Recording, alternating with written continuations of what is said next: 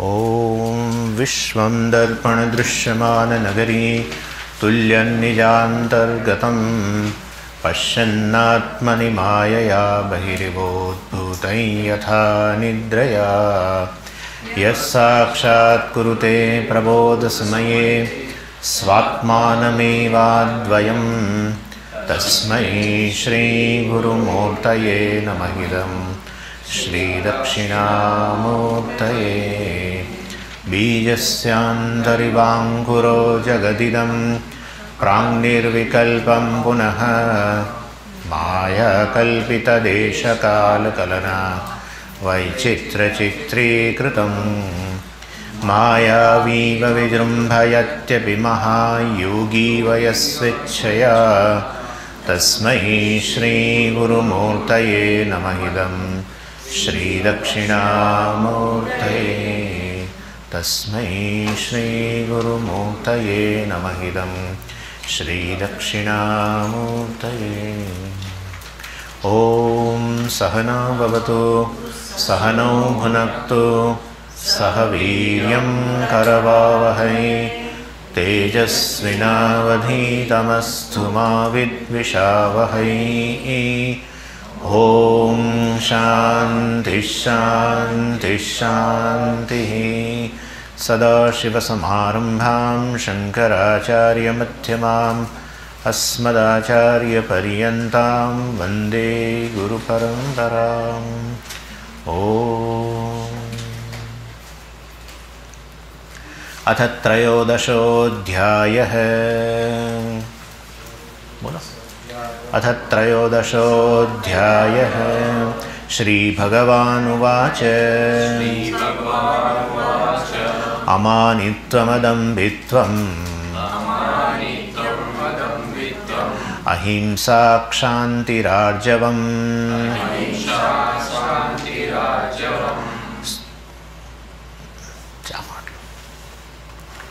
અમાનિત્વમ અદંભિત્વમ અહિંસા ક્ષાંતિ આર્જવમ આચાર્યોપાસનમ શૌચમ સ્થૈર્યમ આત્મવિનિગ્રહ. આ બધા મૂલ્યોની આપણે ચર્ચા કરી રહ્યા છીએ. અમાનિત્વનો મેં કઈ વખતે અર્થ સમજાવી દીધો? માનની માંગણીનો ભાવ. માનની માંગણીનો ભાવ માન માંગવાની વૃત્તિ ત્યારે જ જન્મે છે. ક્યારે માન માંગવાની વૃત્તિ જન્મે? જ્યારે આપણે આપણા પોતાની સફળતા, પોતાના ગુણો વગેરે વિશે વધુ પડતું ઊંચો અભિપ્રાય ધરાવીએ અર્થાત હું, એને કારણે મારામાં હું કાંઈક છું, એ પ્રકારની ભાવના જન્મે. એને કારણે મને મારા પ્રત્યે પણ આ પ્રકારની અપેક્ષા જન્મે અને જગત પ્રત્યેથી અપેક્ષા જન્મે કે મારા ગુણો છે, મારી સફળતા છે. એને હું જે રીતે ઈચ્છું છું એ રીતે એ લોકો જુએ. એને માન માગવું કહેવાય. અને આ વસ્તુ બતાવે છે કે આ ગુણો વગેરે જે છે, આપણી સફળતા વગેરે છે એના માટે પૂરતા પ્રમાણમાં આપણને આદર નથી. આપણા ગુણો માટે આપણને આદર હોય તો આ પ્રકારે વૃત્તિ જન્મે નહીં. પરંતુ આપણે આપણા ગુણો વિશે કે આપણી સફળતા વિશે સંશય રહેલો હોય છે અને સંશયને કારણે જ આપણે અન્ય પાસેથી આ પ્રકારની વસ્તુ ઈચ્છતા હોઈએ છીએ. એ પ્રકારે મેં સમજાવ્યું. આ માનિત્વનો આધાર બને છે. અને પછી બીજો મુદ્દો હતો કે લોકો કેમ માન આપે છે. એના પણ આપણે કારણો જોયા હતા. લોકો માન આપે છે અને તેથી એક પહેલું કારણ છે, જ્યારે તમે સત્તામાં હો, તમારી પાસે કંઈક એ એ લોકોની નજરમાં જે વસ્તુનું મહત્ત્વ હોય, એ વસ્તુ તમે ધરાવતા હોય તો માન આપે. દાખલા તરીકે એને ધનનું બહુ મહત્ત્વ છે અને તમે ધનવાન છો. તો તમને મહત્ત્વ તમારું આ મહત્ત્વ જે છે એ વ્યક્તિ તરીકે તમને માન નથી આપતા. તમે જે ધન ધરાવો છો, એને માન આપે છે. એટલે જે ઘડીએ આપણું ધન આપણી પાસેથી જતું રહે તો પાછું માને જતું રહે છે. એટલે ખરેખર વ્યક્તિને માન નથી આપતું કોઈ. આપણને જે વસ્તુ માટે માન છે, એ ભિન્ન વસ્તુ છે, કોઈ ભૌતિક વસ્તુ છે એના માટે. અને સત્તા છે એમ, ધન છે વગેરેનો અંત આવે, એની સાથે માનનો અંત આવી જતો હોય છે. ક્રોધ, સાહેબ સાહેબ સાહેબ કરતા હોય બહુ મેં કહ્યું હતું ગઈ વખત. એટલે જતું રહે. બીજું કારણ છે, લોકો ઘણીવાર આપણા ગુણોને કે વસ્તુ માટે મહત્ત્વ હોવાને કારણે માન આપે છે, પણ બહુ કન્ડિશનલ હોય છે. રોજ માન આપતા હોય, રોજ સાહેબ કહેતા હોય, પછી એક દિવસ થાય, હવે બહુ થયું. કોઈ વધારે પડતું નહીં કરવું જોઈએ આ બધી વસ્તુ એ વોલન્ટરી યસ રાઈટ વોલન્ટરી હોય છે. અને વોલન્ટરી જે વસ્તુ વોલન્ટરી હોય, સ્વૈચ્છિક હોય ને એનો એ સ્વૈચ્છિક રીતે જ અંત આવે.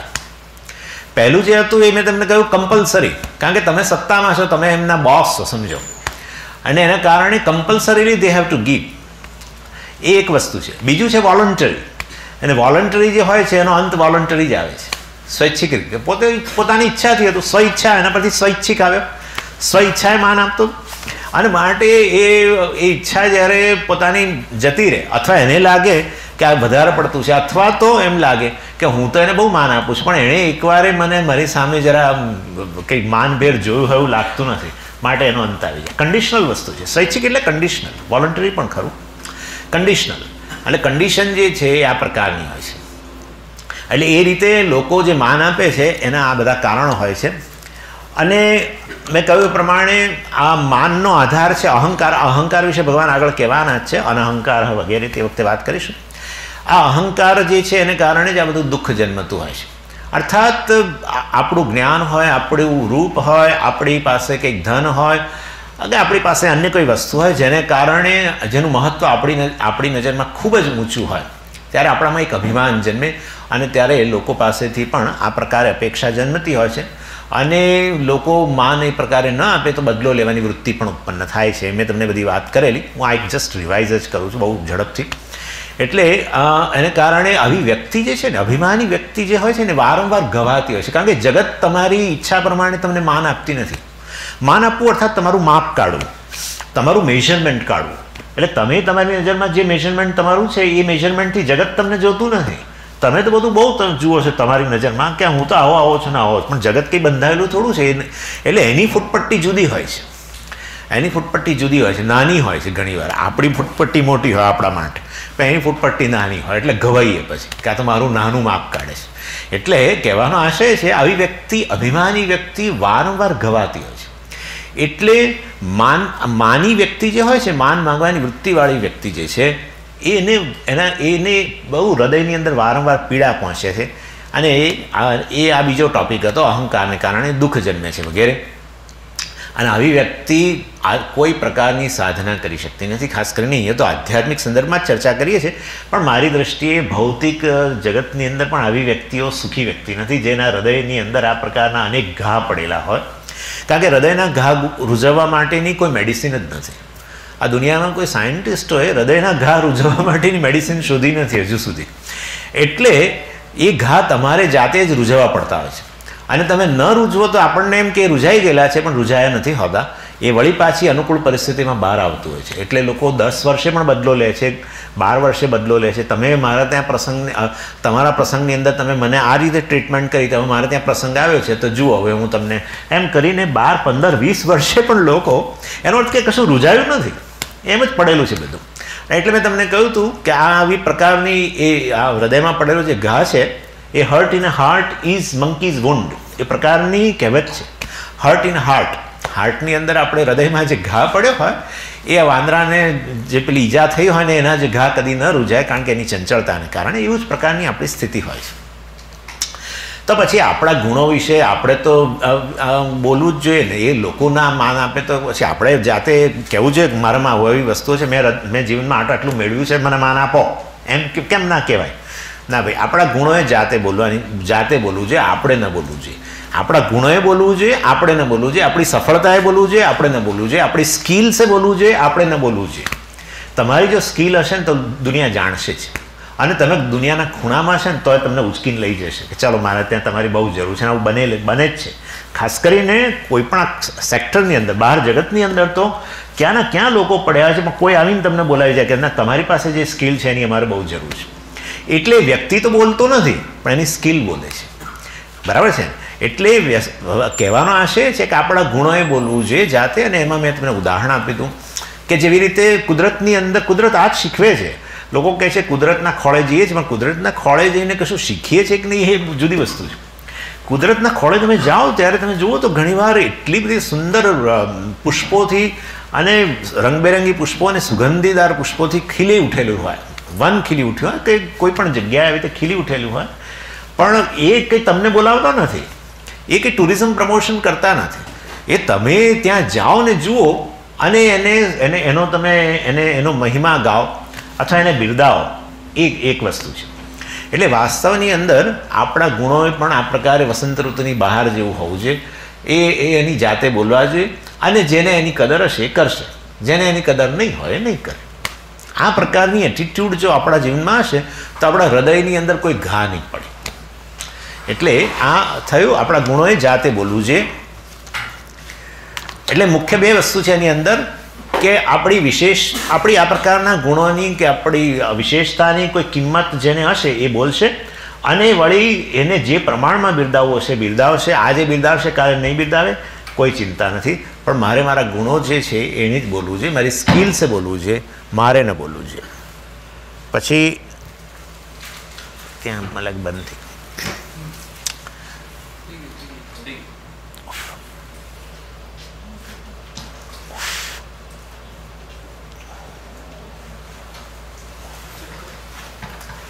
હા. એનાથી એક સ્ટેપ આગળ એવી વસ્તુ છે કે માન માગવું એ મોટી મૂર્ખામી છે. કારણ કે સામાન્ય રીતે બીજા મને માન આપે છે કે નહીં, બાહ્ય વ્યવહારથી જ નક્કી કરતા હો છો તમે. એટલે બાહ્ય વ્યવહાર અમુક પ્રકારે કરે, જી જી બોલે. અને તમે આ તમે આવો ત્યારે તમને લડી લડીને આમ આવકારે. આપણને થાય કે માન આપે છે. અથવા આપણે બોલ્યા પછી અત્યંત નમ્રતાથી જવાબ આપે.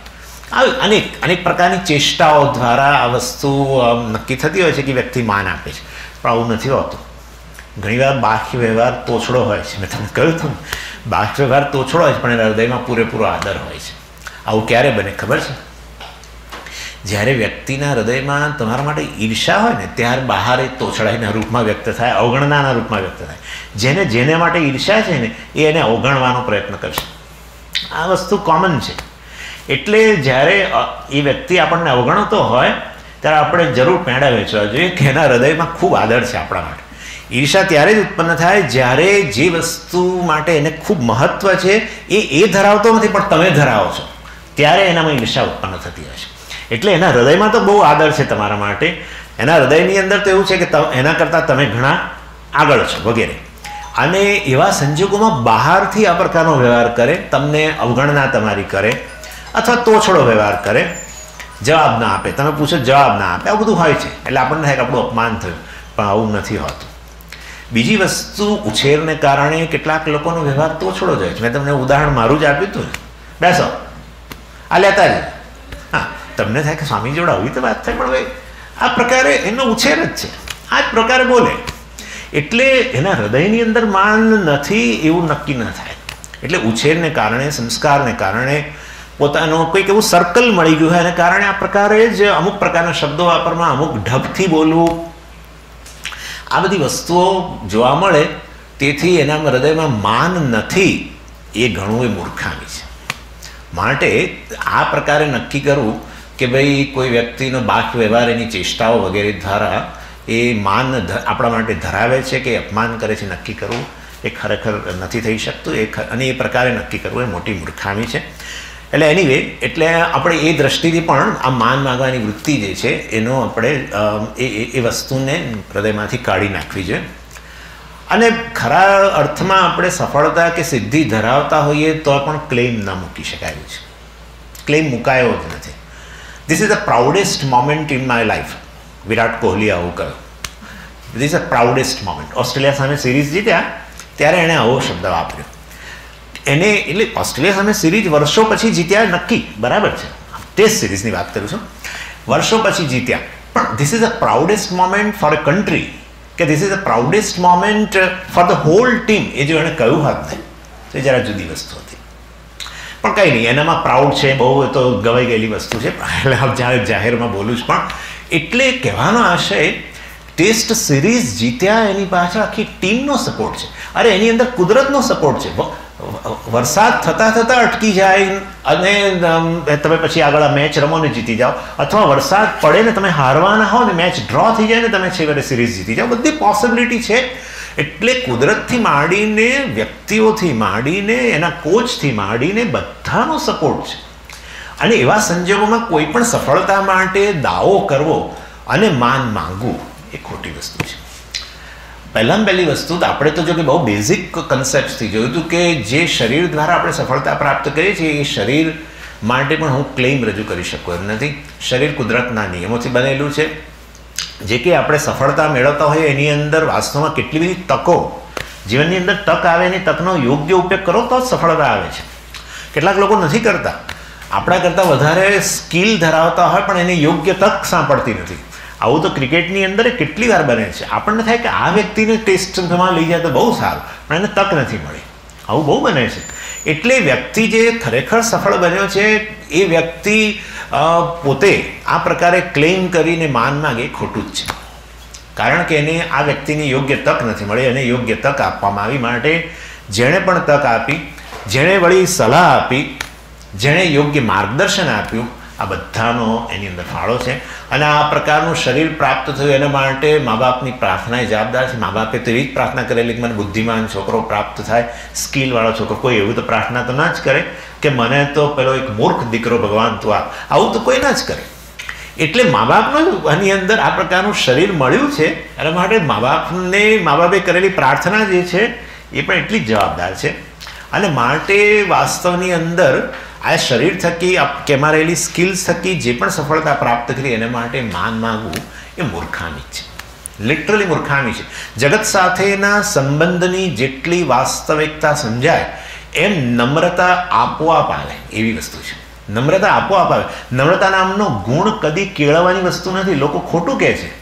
નમ્રતા એ તો નિષ્પન્ન થતી વસ્તુ છે. જગત સાથેના સંબંધનાથી અજ્ઞાન હોઈએ ને તો જ આપણાની અંદર અહંકાર કે આ પ્રકારની વૃત્તિ જન્મે. જેટલો એ સંબંધ સ્પષ્ટ બને એમ આપણે જાણીએ કે વી આર જે કંઈ અત્યારે છીએ આપણે, એમાં આખા વિશ્વનો ફાળો છે. હોલ યુનિવર્સ એટલા માટે ધીસ ઇઝ યુનિફાઈડ આ લોકો વૈજ્ઞાનિકો કહે છે યુનિફાઈડ આ whole universe is one whole one whole organic whole અર્થાત આ વિશ્વની અંદર પ્રત્યેક વસ્તુ પરસ્પર સંકળાયેલી છે. અને પરસ્પર સંકળાયેલી છે એટલે એની અંદર પ્રત્યેક વસ્તુનો ફાળો છે. એક એક વસ્તુનો ફાળો છે. આખી નેચરનો ફાળો છે આપણા જીવનની અંદર. અને માટે ખરેખર કોઈ પણ વસ્તુ જેના જ્યાં અત્યારે ઊભો છું ને જેના માટે હું માન માગું છું, એના માટે ક્લેમ મૂકવો યોગ્ય નથી. અને એ દ્રષ્ટિએ પણ માન માગવું બહુ મોટી મૂર્ખામી છે. એટલે કે સફળતા સિદ્ધિઓ વગેરે જે છે, એનાથી પણ આપણા માનિત્વને વ્યાજબી ન ઠેરવી શકાય. અને પછી છેલ્લે મેં કહ્યું હતું, માનિત્વની મૂર્ખામીના દર્શન કેવી રીતે કરવા? એ મેં તમને કહ્યું હતું. એ વસ્તુ મેં સમજાવી હતી તમને કે અમાનિત્વને વધુ અસરકારક બનાવવું હોય તો એના માટે આત્મ તિરસ્કાર કર્યા વગર આપણે આપણા મનનું વિશ્લેષણ કરવું જોઈએ. સામાન્ય રીતે જગત સાથે વ્યવહાર કરીએ ત્યારે જગત તરફ ધ્યાન આપવાને બદલે આપણે આપણા મન તરફ ધ્યાન આપતા થઈએ ને, તો જીવનમાં સફળતા મળે. કઈ સફળતા? આંતરિક સફળતા. જો તમે જગત સાથે વ્યવહાર કરતા હોય એ કઈ રીતે વ્યવહાર કરે છે? મારી સાથે કઈ રીતે વાત કરે છે? શું કરે છે? ફલાણું કરીને જગત તરફ ધ્યાન આપો તો કામ ન થાય. જગત સાથે વ્યવહાર કરતા હો ત્યારે તમે તમારા મનનું નિરીક્ષણ કરતા હો કે કેવી રીતે પ્રતિક્રિયાઓ આપે છે. તો વાસ્તવની અંદર તમે આંતરિક રીતે મન પર પ્રભુત્વ પ્રાપ્ત કરી શકો અને એવી વ્યક્તિ જીવનમાં બાહ્ય ક્ષેત્રમાં ઘણું મેળવી શકે અને આધ્યાત્મિક ક્ષેત્રમાં જરૂર મેળવી શકે. એટલે આપણે આપણા મનનું નિરીક્ષણ કરવાની જરૂર છે. સામાન્ય રીતે જગતના નિરીક્ષણમાં એટલા બધા બિઝી થઈ ગયા છે કે આપણે આપણું મન આ જુદી જુદી પરિસ્થિતિઓમાં કેવી રીતે રિએક્ટ કરે છે, કેવી કેવી પ્રતિક્રિયાઓ છે એ તરફ આપણું ધ્યાન ગયું નથી. આપણે બહાર જગતને મચડવામાં જ હંમેશા મશગુલ હોઈએ છીએ. આપણે આપણા મનને મચડવા માટે તૈયાર નથી. અને એ દ્રષ્ટિએ જગત પર પ્રભુત્વ મેળવવાનો બહુ પ્રયત્ન કરીએ છીએ, પણ મનના ગુલામ રહીએ છીએ. આ સ્થિતિ છે. અને એટલા માટે એક વ્યક્તિ જે બહુ અત્યંત સફળ વ્યક્તિ છે ભારતની અંદર, એણે આ સ્ટેટમેન્ટ આપેલું મારું સ્ટેટમેન્ટ નથી, એની બરાબર પરફેક્ટ સ્ટેટમેન્ટ છે. અને એ કે જગત સાથે વ્યવહાર કરો ત્યારે જગતનું ધ્યાન રાખવાને બદલે એ કઈ રીતે વાત કરે છે, શું કરે છે, મારી જોડે આમ તેમ ફલાણું ઢીકણું, એ આમ કેમ બોલ્યું પેલું કેમ કર્યું, એ કરતાં આપણું મન એ પરિસ્થિતિમાં કઈ રીતે પ્રતિભાવ આપે છે, એનું ધ્યાન રાખવું વધારે યોગ્ય છે. એનીવે તો પછી અર્થાત આપણું મનમાં આત્મતિરસ્કાર વગેરે પણ ન હોય અને નિષ્પક્ષ રીતે આપણે આ વસ્તુઓ મેં કયા એ મુદ્દાઓને જરા જુએ તો ધીરે રહીને માનની માંગણી કરવાની વૃત્તિ મનમાંથી જતી રહે અને ત્યારે નેચરલી મનની અંદર જે રહે એને અમાનિત્વમ કહેવામાં આવે છે. અમાનિત્વમ નામનો ગુણ લાવવાનો નથી. માનની માંગણીનો અભાવ છે. અભાવ ઉત્પન્ન ન થાય. બરાબર છે? કોઈ અભાવ કે શૂન્ય ઉત્પન્ન ન થાય. એટલે આ તો માનની માગણી કરવાની વૃત્તિ જે બધા જ લોકોની છે. કોઈ કોઈ બાકી નથી એની અંદર. અને એ આવું પ્રકારના ચિંતન દ્વારા એમાંથી જ્યારે જતી રહે ત્યારે નેચરલી તમારા અંદર સ્વાભાવિક રીતે તમારા મનની જે સ્થિતિ હોય, એને અમાનિત્વ કહેવામાં આવે છે.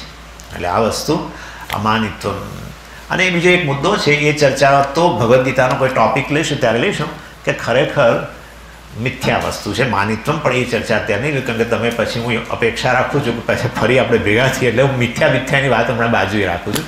વ્યવહારિક દ્રષ્ટિથી જ. પરંતુ ખરેખર માનિત્વનો કોઈ આધાર જ નથી. એ ચર્ચા અનમાટિક હજુ મુદ્દો છે. એ ચર્ચા આપણે પેન્ડિંગ રાખીએ છીએ. હવે બીજું છે અદંભિત્વ. અમાનિત્વ અને અદંભિત્વ.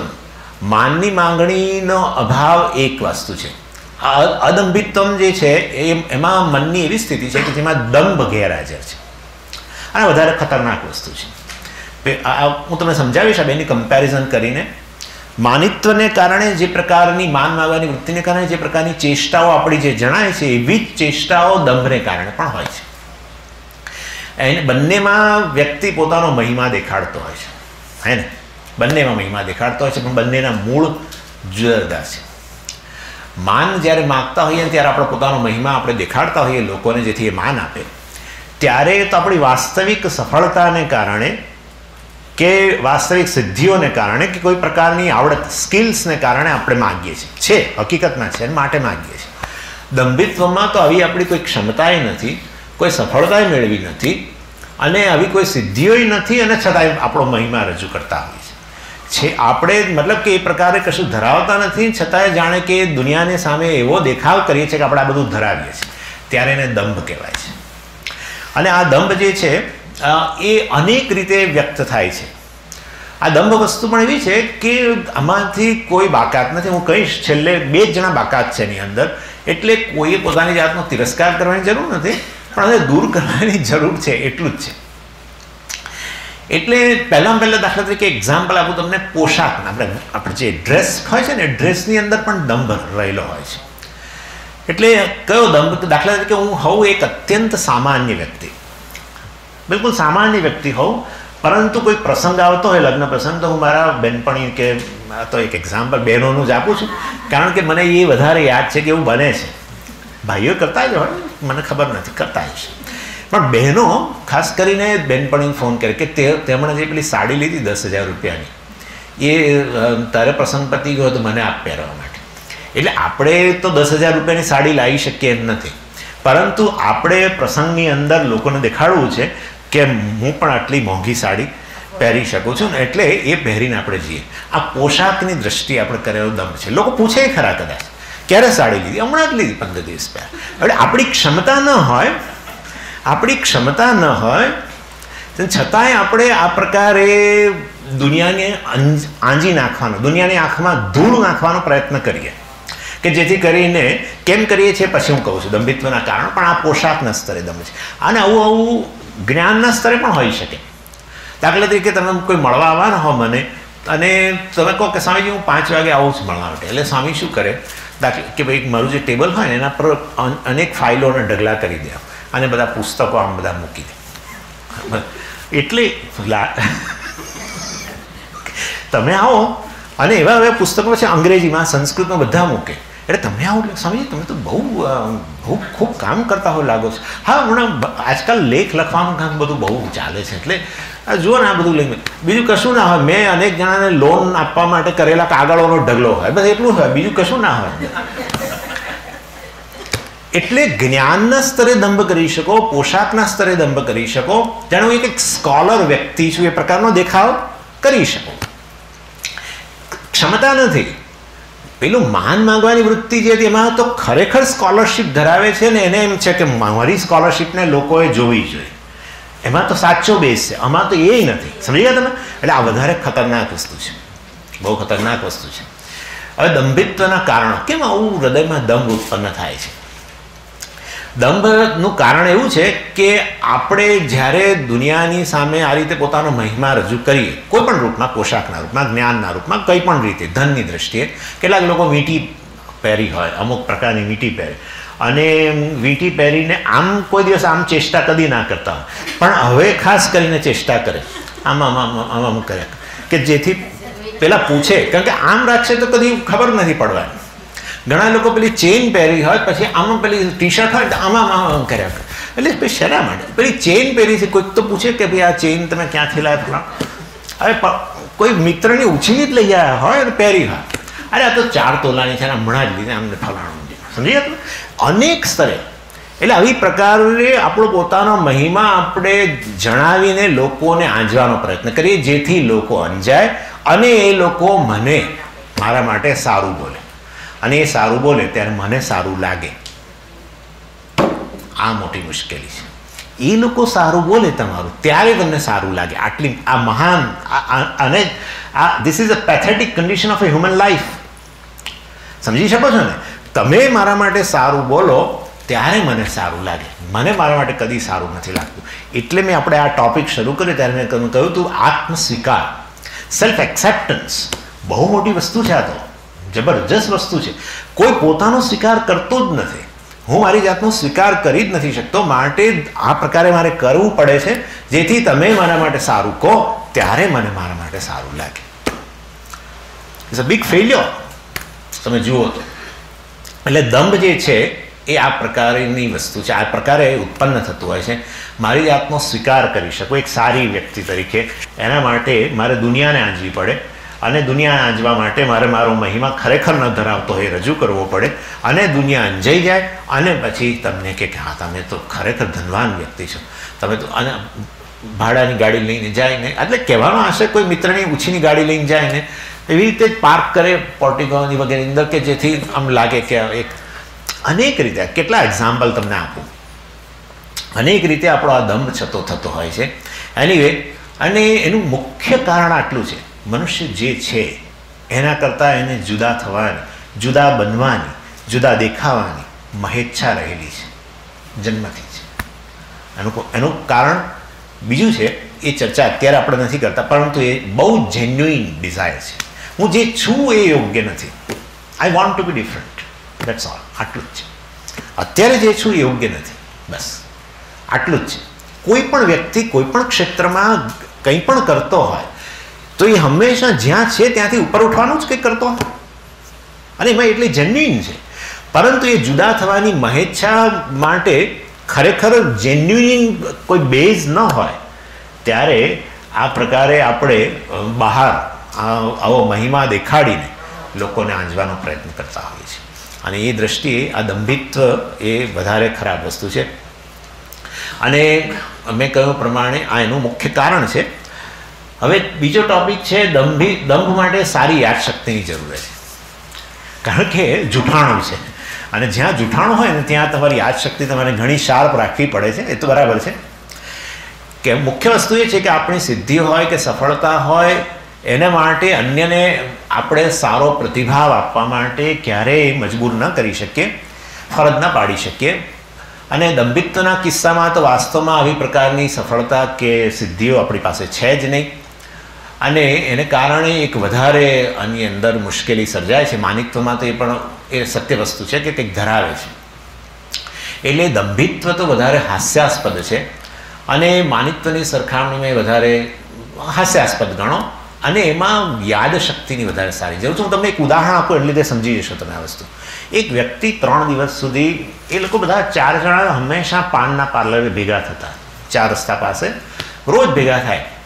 એટલે એક એક વ્યક્તિ ન દેખાય. એક દિવસ ન દેખાય, બીજી વ્યક્તિ બીજા દિવસે દેખાય, ત્રીજા દિવસે ન દેખાય.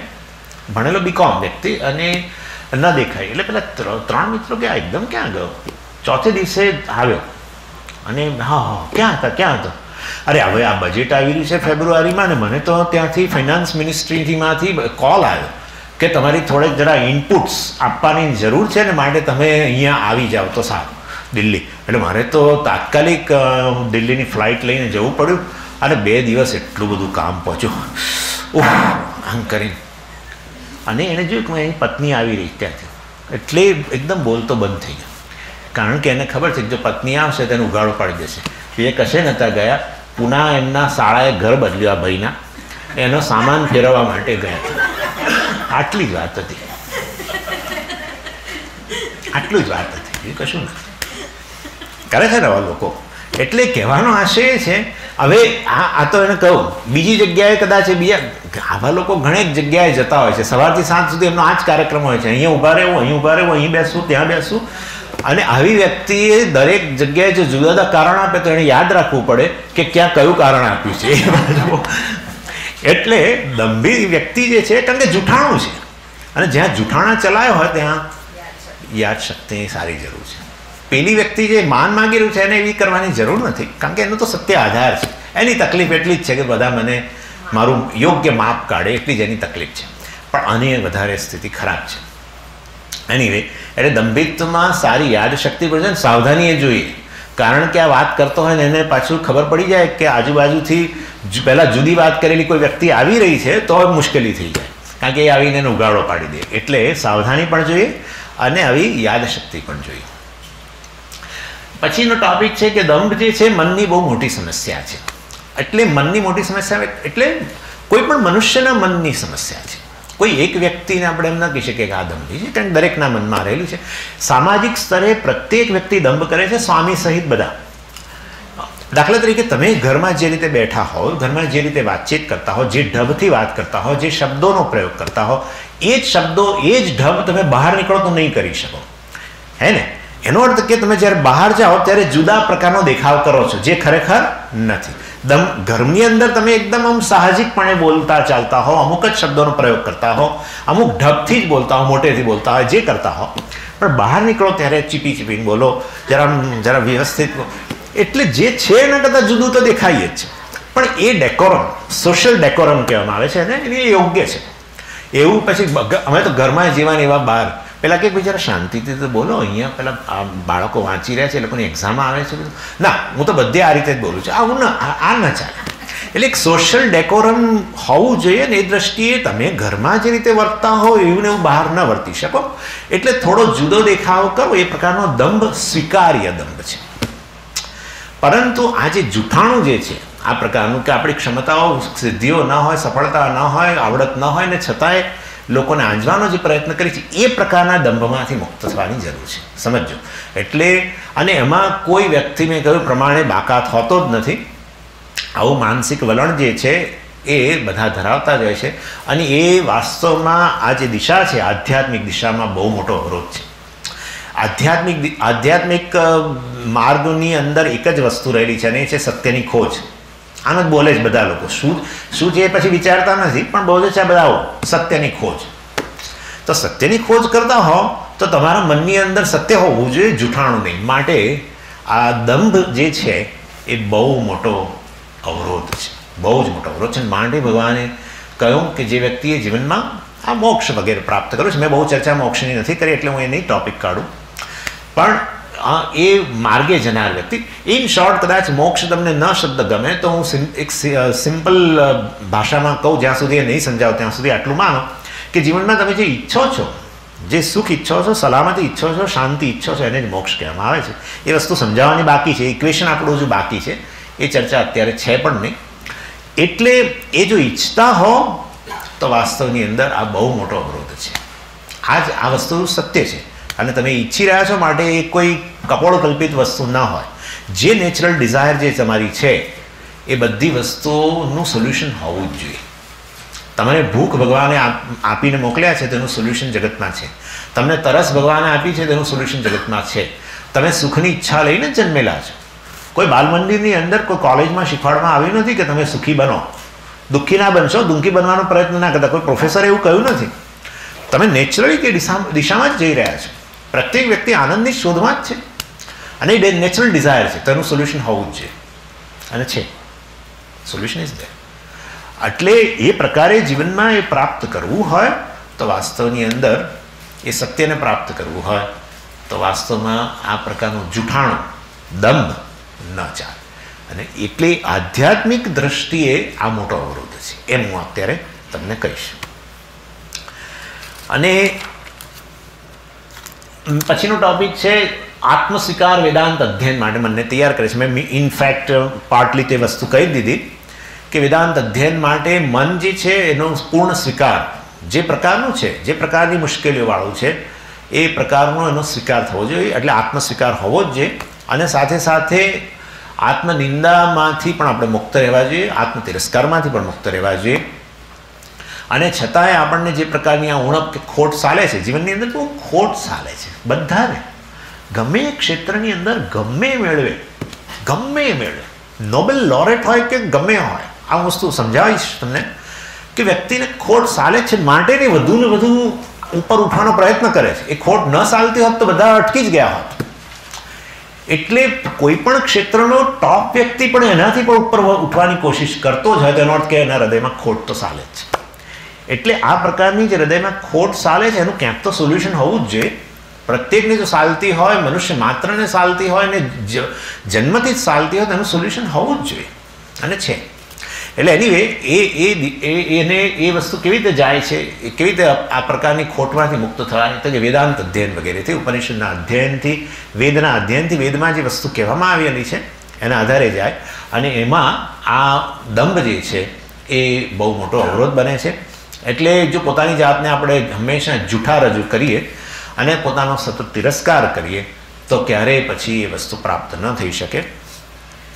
અને જ્યારે મન દંભનો ત્યાગ કરે, ત્યારે એ દંભમાં અદંભિત્વ, એની અંદર આ પ્રકારનો ગુણ રહેલો છે એવું કહેવાય. અને આવી વ્યક્તિ એક સરળ વ્યક્તિ હોય. જે દંભ ન કરતી હોય ને આપણે સરળ વ્યક્તિ કહીએ છીએ. એને ગુસ્સો હોય. એ વ્યક્તિને ગુસ્સો હોય અને એ વ્યક્તિને બીજા પ્રકારનું ચીડિયાપણું વગેરે પણ હોય. પરંતુ સરળતાને કારણે આ બધી પ્રતિ, પ્રતિક્રિયાઓ જે છે એમાંથી મુક્ત થવાનો એ જરૂર પ્રયત્ન કરીને ઉપર ઉઠી શકે છે. પરંતુ આ થયું દંભિત્વ. આમ માનિત્વ અને દંભિત્વ. માનિત્વ એટલે ઘમંડ, દંભિત્વ એટલે દંભ. ઘમંડ અને દંભથી અભાવ, ઘમંડ અને દંભનો અભાવ હોય એવું મન જે છે એ જીવનનું શ્રેષ્ઠ પુરુષાર્થ માટે તૈયાર છે. ઘમંડ ના હોય, મનની અંદર અને દંભ ના હોય. ઘમંડ એટલે માનનો માગવાની વૃત્તિનો અભાવ. માન ત્યારે જ માગીએ જ્યારે ઘમંડ હોય. એટલે ઘમંડ અને દંભ આ બેમાંથી મન મુક્ત હોય, એને મોક્ષ પ્રાપ્ત કરશે કે નહીં કરે એ ચિંતા નહીં. એ વ્યક્તિ ખરેખર જીવનને માણે છે. ખરેખર જીવનને માણે છે. વ્યવહારિક જીવન જ જીવતો હોય. આધ્યાત્મિક દિશામાં એને ભગવદ્ ગીતાનો ભય ના ખબર હોય. વાંધો નહીં. ન, તોય વાંધો નહીં. આવી વ્યક્તિ રિલેટિવલી જરૂર. એને પરિચ્છિન્નતા ચાલે છે એને ખોટ ચાલે છે, ઉણપ ચાલે છે, બધું ચાલે છે. પણ છતાંય વ્યવહારિક દ્રષ્ટિથી એ ઘણો શાંત અને પ્રસન્ન વ્યક્તિ છે. કારણ કે એ વ્યક્તિને ગવાવા માટેના નિમિત્તો એણે પોતે દૂર કરી દીધેલા છે. હી ગેટ્સ હર્ટ વારંવાર જે ઘવાતો હતો, એ પેલી એની વૃત્તિને કારણે, માર માગવાની વૃત્તિને કારણે ઘવાતો હતો કે આ ઘમંડ જૂઠાણ જ્યાં પણ જૂઠાણું હોય ને, ત્યાં કદી શાંતિ ન હોય. જૂઠાણું હોય ત્યાં અજંપો જ હોય. આ વસ્તુ નિશ્ચિત છે. મનમાં જૂઠાણા ચાલતા હોય અને જૂઠાણા બહાર રજૂ કરવાની તક શોધતા હોય, એવા સંજોગોમાં મનમાં ક્યારેય શાંતિ કે પ્રસન્નતા ન જ હોય. નેચરલી ઇન શોર્ટ જો એનો અભાવ હોય, આ પ્રકારના દંભનો જુઠ્ઠાણાનો અભાવ હોય અને ઘમંડનો પણ ભાવ હોય, તો એ વ્યક્તિને પરેશાન જગત ન કરી શકે. જગત બુઠ્ઠું બની જાય. હા. જગત એટલે પરેશાન કરે છે કે આપણે જ હાથે કરીને તક આપીએ છીએ. આ અમારા સ્વામીજીનું વાક્ય છે કે આ તમે જગત દુઃખી નથી કરતો. આપણે આપણી જાતે જ જગતને દુઃખી કરવા માટે જાણે કે પ્રેરીએ છીએ. એટલે આ બે વસ્તુ મનમાંથી જાય તો વ્યક્તિ રિલેટિવલી પીસફુલ રિલેટિવલી પ્રસન્ન વ્યક્તિ હોય છે. એટલે અમાનિત્વમ અલંબિત્વ બે થયા. વીસમાંથી બે થયા. અહિંસા, ત્રીજું અહિંસા શબ્દ જે છે, આના પર ઘણી ચર્ચા કરવાની છે આપણે. અહિંસા શબ્દ જે છે, એ સંસ્કૃત ધાતુ હિંસ પરથી બનેલો છે, હિંસ. અને હિંસ ધાતુનો અર્થ છે, ઈજા કરવી હિંસા કરવી, પીડા પહોંચાડવી વગેરે વગેરે, નુકસાન કરવું વગેરે. અહિંસા અર્થાત આ પ્રકારની વૃત્તિનો અભાવ કોઈને ઈજા ઈજા ન કરવી, કોઈને પીડા ન પહોંચાડવી, કોઈને નુકસાન ન કરવું, એ પ્રકારની જે સ્થિતિ છે મનની આપણી, એને અહિંસા કહેવાય છે. અને એ મારામાં રહેલી એક સ્વાભાવિક ઈચ્છાનો જ નિર્દેશ કરે છે. હું પણ ઈચ્છું છું કે મને કોઈ પીડા ન પહોંચાડે, મને કોઈ નુકસાન ન કરે, હે ને? અને મારી કોઈ હિંસા ન કરે, શારીરિક સ્તરે, માનસિક સ્તરે. એ પ્રકારની મારામાં ઈચ્છા રહેલી છે. અને માટે આપોઆપ જ મારે પણ જગત તરફ એક કોમન સેન્સથી કરવા જેવી વસ્તુ છે, મારે કોઈને ઈજા ન પહોંચાડવી જોઈએ. જો હું જો નહીં ઈચ્છતો હોઉં જગત પાસેથી, તો મારે પણ જગતની આ પ્રકારે ન કરવું જોઈએ.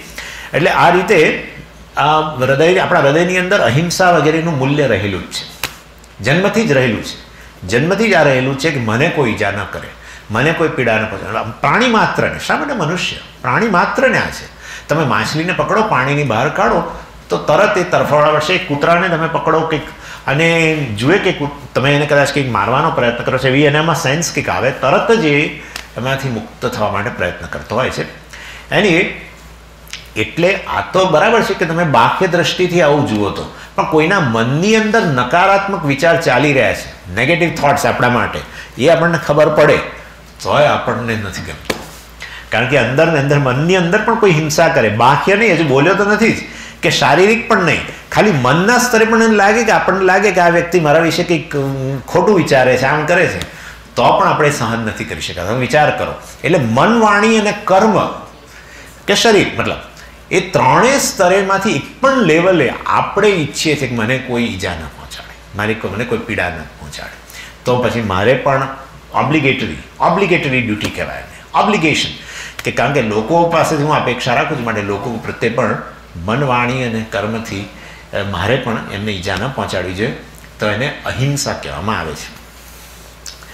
અને આ અહિંસા જે વસ્તુ આપણા હૃદયમાં રહેલી જ છે વેલ્યુ તરીકે, એને શાસ્ત્ર એના પર મોર મારે છે. બસ, આટલું કામ કરે આપણે કહીએ છીએ કે શાસ્ત્રએ કહ્યું કે હિંસા હિંસા ન કરવી જોઈએ. ના ના ના. શાસ્ત્ર તો આપણામાં જે નેચરલી આ વેલ્યુ જે રહેલી છે, એના પર મોર મારે છે. કેમ મોર મારે છે? શાસ્ત્ર ઓથોરિટી છે એટલે. કારણ કે ઓથોરિટી પાસેથી આવે ને તો જરા ઝડપથી આપણે એ વસ્તુને માનવા તૈયાર થઈએ જ માટે. ઓથોરિટી પાસેથી ન આવે ને તો આપણે નથી સ્વીકારતા. એટલે ઘણીવાર મા બિચારી કેટલું કહે તો પણ ના માને. એટલે મા પછી પિતાજીને કહે. એટલે મને હસબન્ડને અને પિતાજી જરા દીકરાને કહે. અને પિતાજી જરાક આમ આંખો ફેરવીને જરાક જરાક કંઈક કડક અવાજે જે કહે, તો પછી માને છે. એટલે ખરેખર શાસ્ત્રએ કહ્યું છે, હિંસા ન કરવી જોઈએ અને માટે હિંસા ન કરવી જોઈએ એવું નથી. આપણા હૃદયમાં જ રહેલું છે વેલ્યુ તો. ઇટ ઇઝ ધેર પણ શાસ્ત્ર આ પ્રકારે મોં મારવાનું કામ કરે છે.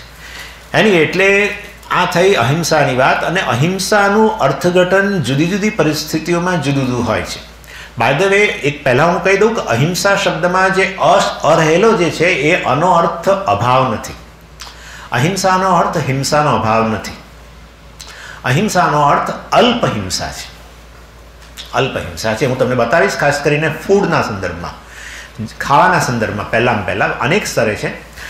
કારણ કે સંસ્કૃતની અંદર આ જે નેગેશન છે, ન ન હિંસા, એટલે અહિંસા, જેમ કે અજ્ઞાન, એટલે જે જ્ઞાન નો અભાવ એને અજ્ઞાન કહી શકાય. અલ્પ જ્ઞાન હોય એને માટે પણ આ પ્રકારે વપરાય છે. છ પ્રકારે વપરાય છે. વિરુદ્ધ અર્થમાં વપરાય, અલ્પ અર્થમાં વપરાય. આપણે ઘણીવાર નથી કહેતા. આમાં તો મીઠું જ નથી. હવે એવું નથી કે નથી. કેટલું છે. હા. સમજ્યા તમે? આ આપણે કરીએ છીએ. એટલે આ આ વસ્તુ અલ્પ હિંસાના અર્થમાં લેવામાં આવે છે. કેમ? કારણ કે જીવો જીવસ્ય ભોજન એક જીવ બીજા જીવ પર જ નભે છે. અને માટે જે જીવ પર નભતો હોય, જે જીવ એનો આહાર હોય, એની હિંસા થવાની છે. થવાની જ છે. એટલે વાસ્તવમાં અલ્પહિંસાનો અર્થ હિંસાનો ભાવ નહીં, પણ અલ્પહિંસા છે. બીજી વસ્તુ, અહિંસાનું અર્થઘટન જુદી જુદી પરિસ્થિતિમાં જુદી રીતે થાય છે. એક સર્જનના હાથમાં રહેલું ચપ્પુ અને એક આતંકવાદીના હાથમાં અથવા કોઈ ગુનેગારના હાથમાં રહેલો ચપ્પુ. બાહ્ય દ્રષ્ટિએ બંને જણા હિંસા જ કરતા દેખાય છે. પેલો શરીરની હિંસા કરે છે, આ શરીરની હિંસા કરે છે. પણ એકને અહિંસા કહીશું જ્યારે પેલાને હિંસા કહીશું. પેલો જીવ બચાવે છે, એ બીજો જીવ લે છે. હા. માટે બાહ્ય દ્રષ્ટિથી શારીરિક હિંસા કરતો જણાતો હોવા છતાં પણ એ અહિંસા જ છે. જ્યારે આ જે છે હિંસા છે. એટલે હિંસા હંમેશા એક અર્થઘટન, જુદી પરિસ્થિતિમાં અર્થઘટન માગે છે. નહીં તો તો ડૉક્ટરને આપણે હિંસક કહી દઈએ, પરંતુ આવું નથી કહેતા. ડૉક્ટરને આપણે વોલન્ટરીલી આપણું શરીર આપીએ છીએ. પેલા ગુનેગાર વ્યક્તિને આપણે આપણું શરીર ધરીએ નહીં. લે, માર ચપ્પો, એવું આપણે ન કરીએ. પણ અહીંયા તો આપણે વોલન્ટરીલી, પાછી સાઈન કરીએ છીએ. જે કંઈ થશે એની જવાબદારી મારી રહેશે. એટલું જ નહીં સાઈને કરીએ પાછા પૈસા આપી દે બધા પૂરેપૂરા જેટલા માગ્યા અને પછી પાછા પેટ ચીરાવ્યું. એટલે કહેવાનો આશય એવો છે કે એ એ જાણીએ છીએ કે ત્યાં ખરેખર હિંસા નથી થવાની. ઇનફેક્ટ એ કશું નહીં કરે તો મારો જીવ જવાનો છે. અને માટે કરે એ પ્રકારે આપણે તૈયારી આમ દર્શાવીએ છીએ. ચાલો, હવે અહિંસાના અનેક રૂપ છે. એમાં હું તમને આજે, આજના સંદર્ભમાં ખાલી ટુડેઝ ટોપિક ઇઝ આહાર. આ તમે કહેશો, સ્વામીજી, શું આહારની દ્રષ્ટિએ અહિંસા? શાકાહાર. વેજીટેરિયનિઝમ છે, એ વાસ્તવમાં અહિંસાનું રૂપ છે અમે તો સ્વામીજી વેજીટેરિયન જ છે અમને કહેવાની જરૂર નથી. તો એ વાત બધી બરાબર છે. પણ આપણે કન્વિન્સ થયેલા નથી. કારણ કે મોટાભાગના શાકાહારીઓ, અમદાવાદમાં કેટલાય ફેમિલી મેં જોયા, કે એમાં ઈંડું ખાવામાં કંઈ એ લોકોને હવે, હા, વાંધો નથી આવતો. અને વચ્ચે તો બહુ મોટી ચર્ચાઓ ઉપાડી લીધેવામાં આવેલી કે ઈંડાને શાકાહારી ગણવું કે માંસાહારી ગણવું બહુ મોટી દલીલો થાય છે. હું તમને એ દલીલો પણ કહીશ જ આજે. કે ઈંડાને કેમ આપણે ન લેવું જોઈએ? એ પણ એ પણ છેલ્લે એ ટોપિક એટલે આહારની દ્રષ્ટિએ હું તમને આજે આ અહિંસા શબ્દ સમજાવીશ કે કેવી રીતે વેજીટેરિયન ફૂડ જે છે, એ અહિંસા છે. શાકાહાર અહિંસાને વ્યવહારમાં લાવવા માટેનું બહુ સુંદર દ્રષ્ટાંત છે. અને દુનિયામાં સૌથી વધારે શાકાહારી લોકો ભારતની અંદર છે. એનું કારણ છે. એનું કારણ એવું છે કે અહીંયા ભારતની જે શું જેને કે ભારતની મુખ્ય ધરોહર જે છે એ વેદ છે. અને વેદની અંદર આવી વસ્તુ કહેવામાં આવી છે હિંસામ ન કુરિયાત. કોઈની હિંસા ન કરશો. અને એને કારણે આપણે અહીંયા બીજા દેશો કરતાં અહીંયા શાકાહારી લોકો ઘણા વધારે છે. અર્થાત આપણે આપણા ભોજન માટે અન્ય બીજા જીવોનો નાશ કરવો એ કોઈ રીતે યોગ્ય નથી. અને હવે પહેલાં પહેલાં ચર્ચા તો હું માંસની વાત કરીશ, મીંડાની વાત પછી રાખીએ આપણે. અમે હમણાં તમને કહ્યું કે જીવો જીવસ્ય ભોજન એક જીવ બીજા જીવનું ભોજન છે. એને એ દ્રષ્ટિએ જો જીવ જીવનું ભોજન જ હોય, તો પછી હું આ વનસ્પતિને ખાઉં, એ પણ એક જીવ છે. જગદીશચંદ્ર બોઝ કહીને ગયા ને તો પુરવાર થયેલી વસ્તુ છે. એટલે એક વનસ્પતિને ખાઉં, એ પણ જીવ છે, કે હું માછલીને ખાઉં. શું ફેર છે? શું ફેર છે? કોણ મને પૂછે છે? જે વ્યક્તિ માછલી ખાય છે તે. અથવા જે વ્યક્તિ બીફ ખાય છે તે, જે હોય તે. એ વ્યક્તિ મને પૂછે છે કે પેલો જીવ છે ને આ જીવ છે. અને એક જીવ બીજા જીવ પર જ નમતો હોય, તો હું આ ખાઉં કે આ ખાઉં? તમારે શું તકલીફ છે? તમને ક્યાં તકલીફ છે? એટલે કે ભાઈ બહુ મોટો ફેર છે. બહુ મોટો ફેર છે. શું ફેર છે? ભાઈ કે આ બીજા બધા જે પ્રાણીઓ વગેરે જે છે, એ બધા લોકોને ભોજન માટે પસંદગી જ નથી. જન્મથી જન્મથી પસંદગી એક લઈને આવેલા છે ને એ જ એમની પસંદગી જીવનભર રહે છે. જીવનભર. એટલે આ જે ગાય હોય દાખલા તરીકે તો એ ઘાસ ખાતું હવે એ ઘાસ જીવનભર ખાય. એને કોઈ બીજી પસંદગી નથી. એની તકલીફ એટલી જ છે, ઘાસ ક્યાં આગળ મળે છે, બસ એટલું છે. એની જરૂરિયાત ઘાસની અવેલેબિલિટી ક્યાં છે, એટલું છે. બાકી ઘાસ ખાવું કે નહીં ખાવું, રોજ સવાર સાંજ ઘાસ ખાવાનું બોર થઈ ગઈ. આવું આવું એને કશું થતું નથી. હું બોર થઈ ગઈ. આપણે સવારે અહીંયા એક આશ્રમની અંદર આપણા ગુરુજીને જ આવું થયું હતું, કે એ આશ્રમની અંદર છે ને, નદી કિનારે આશ્રમ છે. અને એમાં રીંગણ બહુ થાય છે. એટલે સવારે પણ ભાખરી અને રીંગણનું શાક. અને સાંજે રીંગણનું શાક અને ભાખરી. ખરેખર. ખરેખર, આ બીજે દિવસે સવારે ભાખરી, રીંગણનું શાક, સાંજે રીંગણનું શાક ને ભાખરી. ડેઈલી કેટલા દિવસો સુધી? તો થાય ને. સ્વામી હતા એટલે ચલાવ્યું એ જુદી વસ્તુ હતું. મારી વાત નથી, ગુરુજીની વાત છે. ચલાવ્યું જુદી વસ્તુ છે. પરંતુ મનમાં તો થાય. કેમ એવું થાય? કારણ કે પસંદગી રહેલી છે. મનુષ્ય તરીકે પસંદગી છે. આના સિવાય બીજું મળવું જોઈએ. ગાયને એવો પ્રશ્ન જ નથી. એવો કોઈ પ્રશ્ન જ નથી. સવારે ઘાસ, સાંજે ઘાસ, બીજે દિવસે ઘાસ, ત્રીજે છે સો વર્ષ પછી પણ ઘાસ. હજાર વર્ષ પહેલાં પણ ઘાસ ખાતી આજની ગાય પણ ઘાસ. જર્સી ગાય ઘાસ. દેશી ગાય ઘાસ. પસંદગી નથી. ખાલી એમની બિચારાની તકલીફ એટલી ક્યાં મળે છે? એના માટે આમ તેમ આમ તેમ ફરતી હા આટલું છે. મનુષ્યને પસંદગી આપી છે. ફ્રીડમ પસંદગી એટલે ફ્રીડમ જ્યાં ફ્રીડમ ત્યાં રિસ્પોન્સિબિલિટી આવે. કારણ કે તમે ફ્રીડમનો એબ્યુઝ કરી શકો છો. અને માટે વાસ્તવમાં જ્યાં ફ્રીડમ છે, ત્યાં પછી તમને પસંદગીના ધારા ધોરણો પણ કહેવા પડે.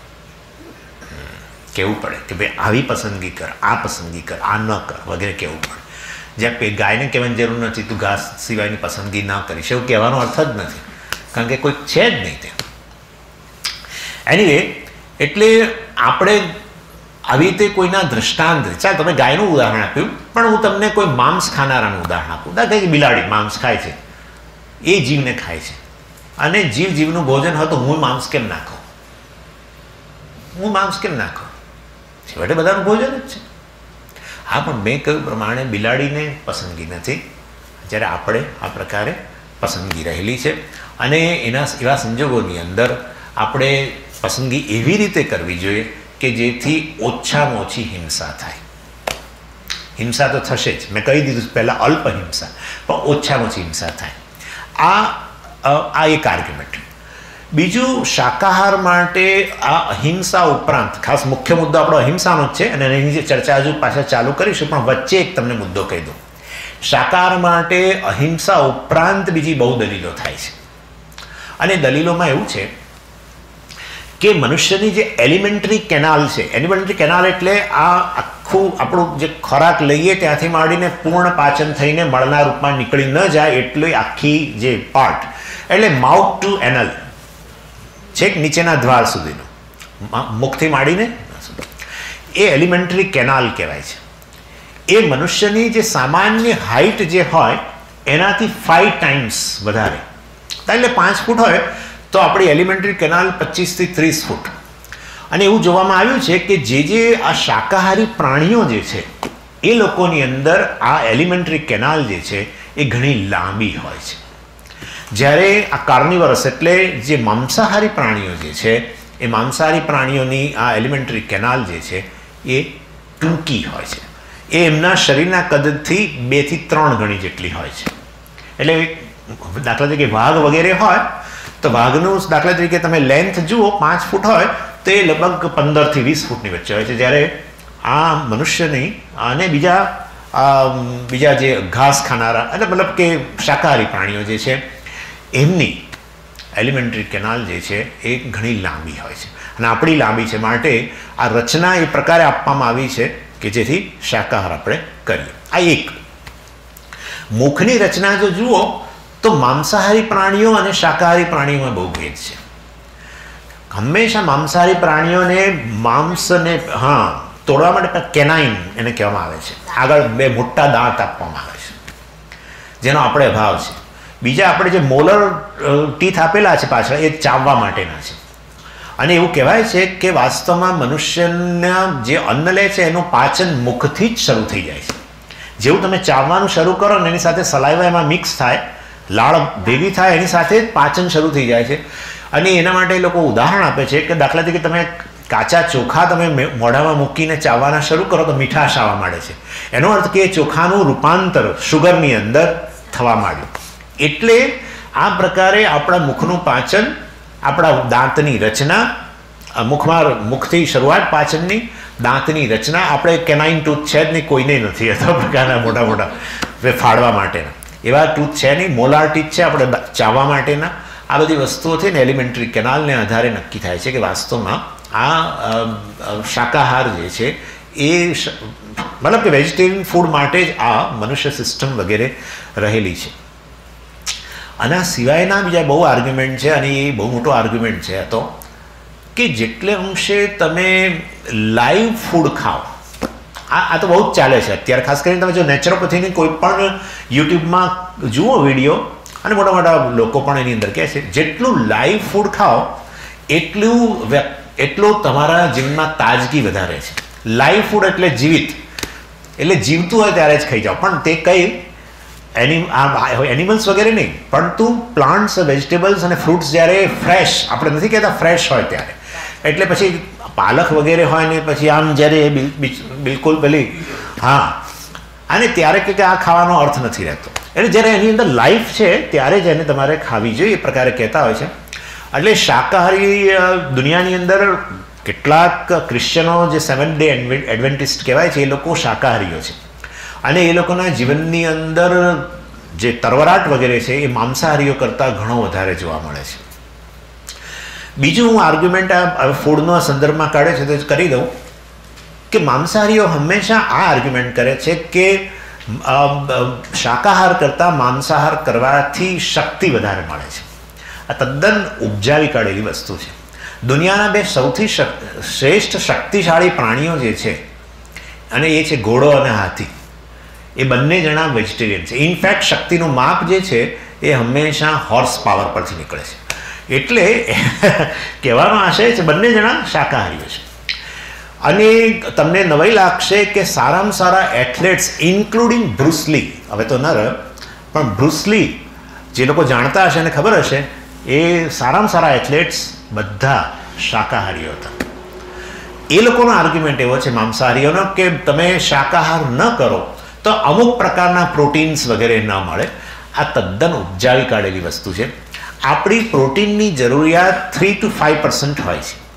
અને એ વાસ્તવની અંદર આપણે જે પલ્સીસ વગેરે ચણા તે બધી વસ્તુઓ બધા કઠોળ અને બીજા એ સિવાયના ડ્રાય ફ્રૂટ્સ વગેરે અને બીજા એ સિવાયની પણ શાકભાજી વગેરેમાંથી બધી પૂરતા પ્રમાણમાં મળી રહે છે. એટલે એ પણ એક ખોટો આર્ગ્યુમેન્ટ છે. બીજી વસ્તુ તો સ્વામીજી પ્રોટીનની ઉણપ કેમ શાકાહારીઓને વધારે વણાય કારણ કે આપણે ફૂડને વધારે પડતું કૂક કરી દેતા હોય કારણ એ પ્રોટીન બહુ કોમ્પ્લેક્સ મોલિક્યુલ છે અને એટલે એ એનું વિઘટન થઈ જતું હોય છે. બાકી જે લોકો પ્રમાણમાં કાચા શાકભાજી ખાતા હોય છે કે બોઇલ, થોડું ઘણું બોઇલ કરીને જે ખાતા હોય છે, એ લોકોને બધા મિનરલ્સથી માંડીને બધી જ વસ્તુઓ પૂરતા પ્રમાણમાં મળે છે. ચોથી વસ્તુ જે વર્લ્ડ ઇકોનોમિક ફોરમનો રિપોર્ટ છે, હું તમને ખાલી જસ્ટ કહેવા માગું છું, જે ટાઈમ્સ ઓફ ઇન્ડિયાની અંદર ઓગણત્રીસમી ઓક્ટોબર ને બે હજાર અઢારમાં આ પબ્લિશ થયેલો. એમાં લખેલું છે કે કુદરતે ત્રીસ હજાર પ્રકારના એડિબલ પ્લાન્ટ્સ એડિબલ પ્લાન્ટ્સ એટલે તમે જેનો શાકભાજી તરીકે ઉપયોગ કરી શકો, ફૂડ તરીકે ઉપયોગ કરી શકો, એવો ત્રીસ હજાર પ્રકારના છે. ઇનફેક્ટ આયુર્વેદની અંદર કહેવામાં આવ્યું છે કે પ્રત્યેક આ જે પ્લાન્ટ છે, એનો પાન કે રૂટ એનો મૂળ એ મેડિસિન છે. ચાલો એટલું બધું ન સ્વીકારો. તો પણ આ તો વર્લ્ડ ઇકોનોમિક ફોરમનો રિપોર્ટ છે કે ત્રીસ હજાર પ્રકારના પૃથ્વી પર પ્લાન્ટ્સ છે જેને તમે જેનો તમે અન્ન તરીકે ઉપયોગ કરી શકો છો કૂક કરીને કે કાચું. હવે તમે મને કહો કે એમાં શું શું ન મળે. હમણાં હું આવતો હતો એના ગઈકાલે જ એક ડૉક્ટરે મને ખાસ બોલાવીને કહ્યું, આપણા મિત્ર જ છે આશ્રમમાં. એણે મને કહ્યું, સ્વામીજી, હમણાં શોધાયું છે કે કેલ્શિયમનો સારામાં સારો સોર્સ સરગવાના પાન છે. વિચાર કરો તમે. આ સરગવાની ભાજી તો જો કે દક્ષિણ ભારતની અંદરની બધામાં તો પુષ્કળ વપરાય છે. પરંતુ સરગવાનો સરગવો જે છે, એના પાન બધું બધું જ ઉપયોગમાં આવે છે. સરગવાના ફૂલ, સરગવાના પાન અને સરગવાની શીંગથી માંડી બધું. પણ કહે છે કે રિસન્ટ હમણાં શોધાયું કે એની અંદર વિપુલ પ્રમાણમાં કેલ્શિયમ છે. એટલે આ લોકો જ્યારે કહે છે વર્લ્ડ ઇકોનોમિક ફોરમવાળા કે આવી રીતે ત્રીસ હજાર પ્રકારના પ્લાન્ટ્સ એમાંથી પણ દશા શું છે આપણે, જુઓ. એ લોકો કહે છે કે here is how we have made our diets poorer આપણે આપણા ખોરાકને અત્યંત પુઅર બનાવી દીધા છે, એટલે અર્થાત આમાંથી મિનરલ નથી મળતું આમાંથી આ નથી મળતું ને. એ કહે છે કે આપણે કરુણ દશા એ છે કે આપણે ફોર્ટી પર્સન્ટ ઓફ આપણી એનર્જી શાકાહારીઓની, એ ત્રણ જ પ્રકારના ધાન્યમાંથી આપણે મેળવવાનો પ્રયત્ન કરીએ છીએ. છે ઘઉં, બીજું છે મકાઈ અને ત્રીજું છે આપણા ચોખા. એમાંથી મેળવવાનો પ્રયત્ન કરીએ છીએ. અને દુનિયાભરની અંદર જ્યાં બીજા પ્રકારનું નથી વપરાતું, ત્યાં પણ આ ત્રીસ પ્રકારના પ્રોડક્ટ્સ છે, જેમાંથી મોટાભાગના આપણા શાકાહારીઓ એ શક્તિ મેળવવાનો પ્રયત્ન કરતા હોય છે. પરંતુ આખી દુનિયાની અંદર અત્યારે જે આ ત્રીસ હજાર પ્રકારના જે પ્લાન્ટ્સ છે, જેમાંથી વિવિધ પ્રકારની વસ્તુઓ આ શરીરને જરૂરી બધી જ મળી રહે. છતાં પણ આખી દુનિયાની અંદર એકસો ને સિત્તેર પ્રકારના જ પ્લાન્ટ્સ અન્ન તરીકે વપરાય છે. એટલે બાકીની બધાનો કોઈ ઉપયોગ શોધાયો નથી, અથવા તો શોધાયો હોય, પરંતુ આપણે ઉગાડતા નથી.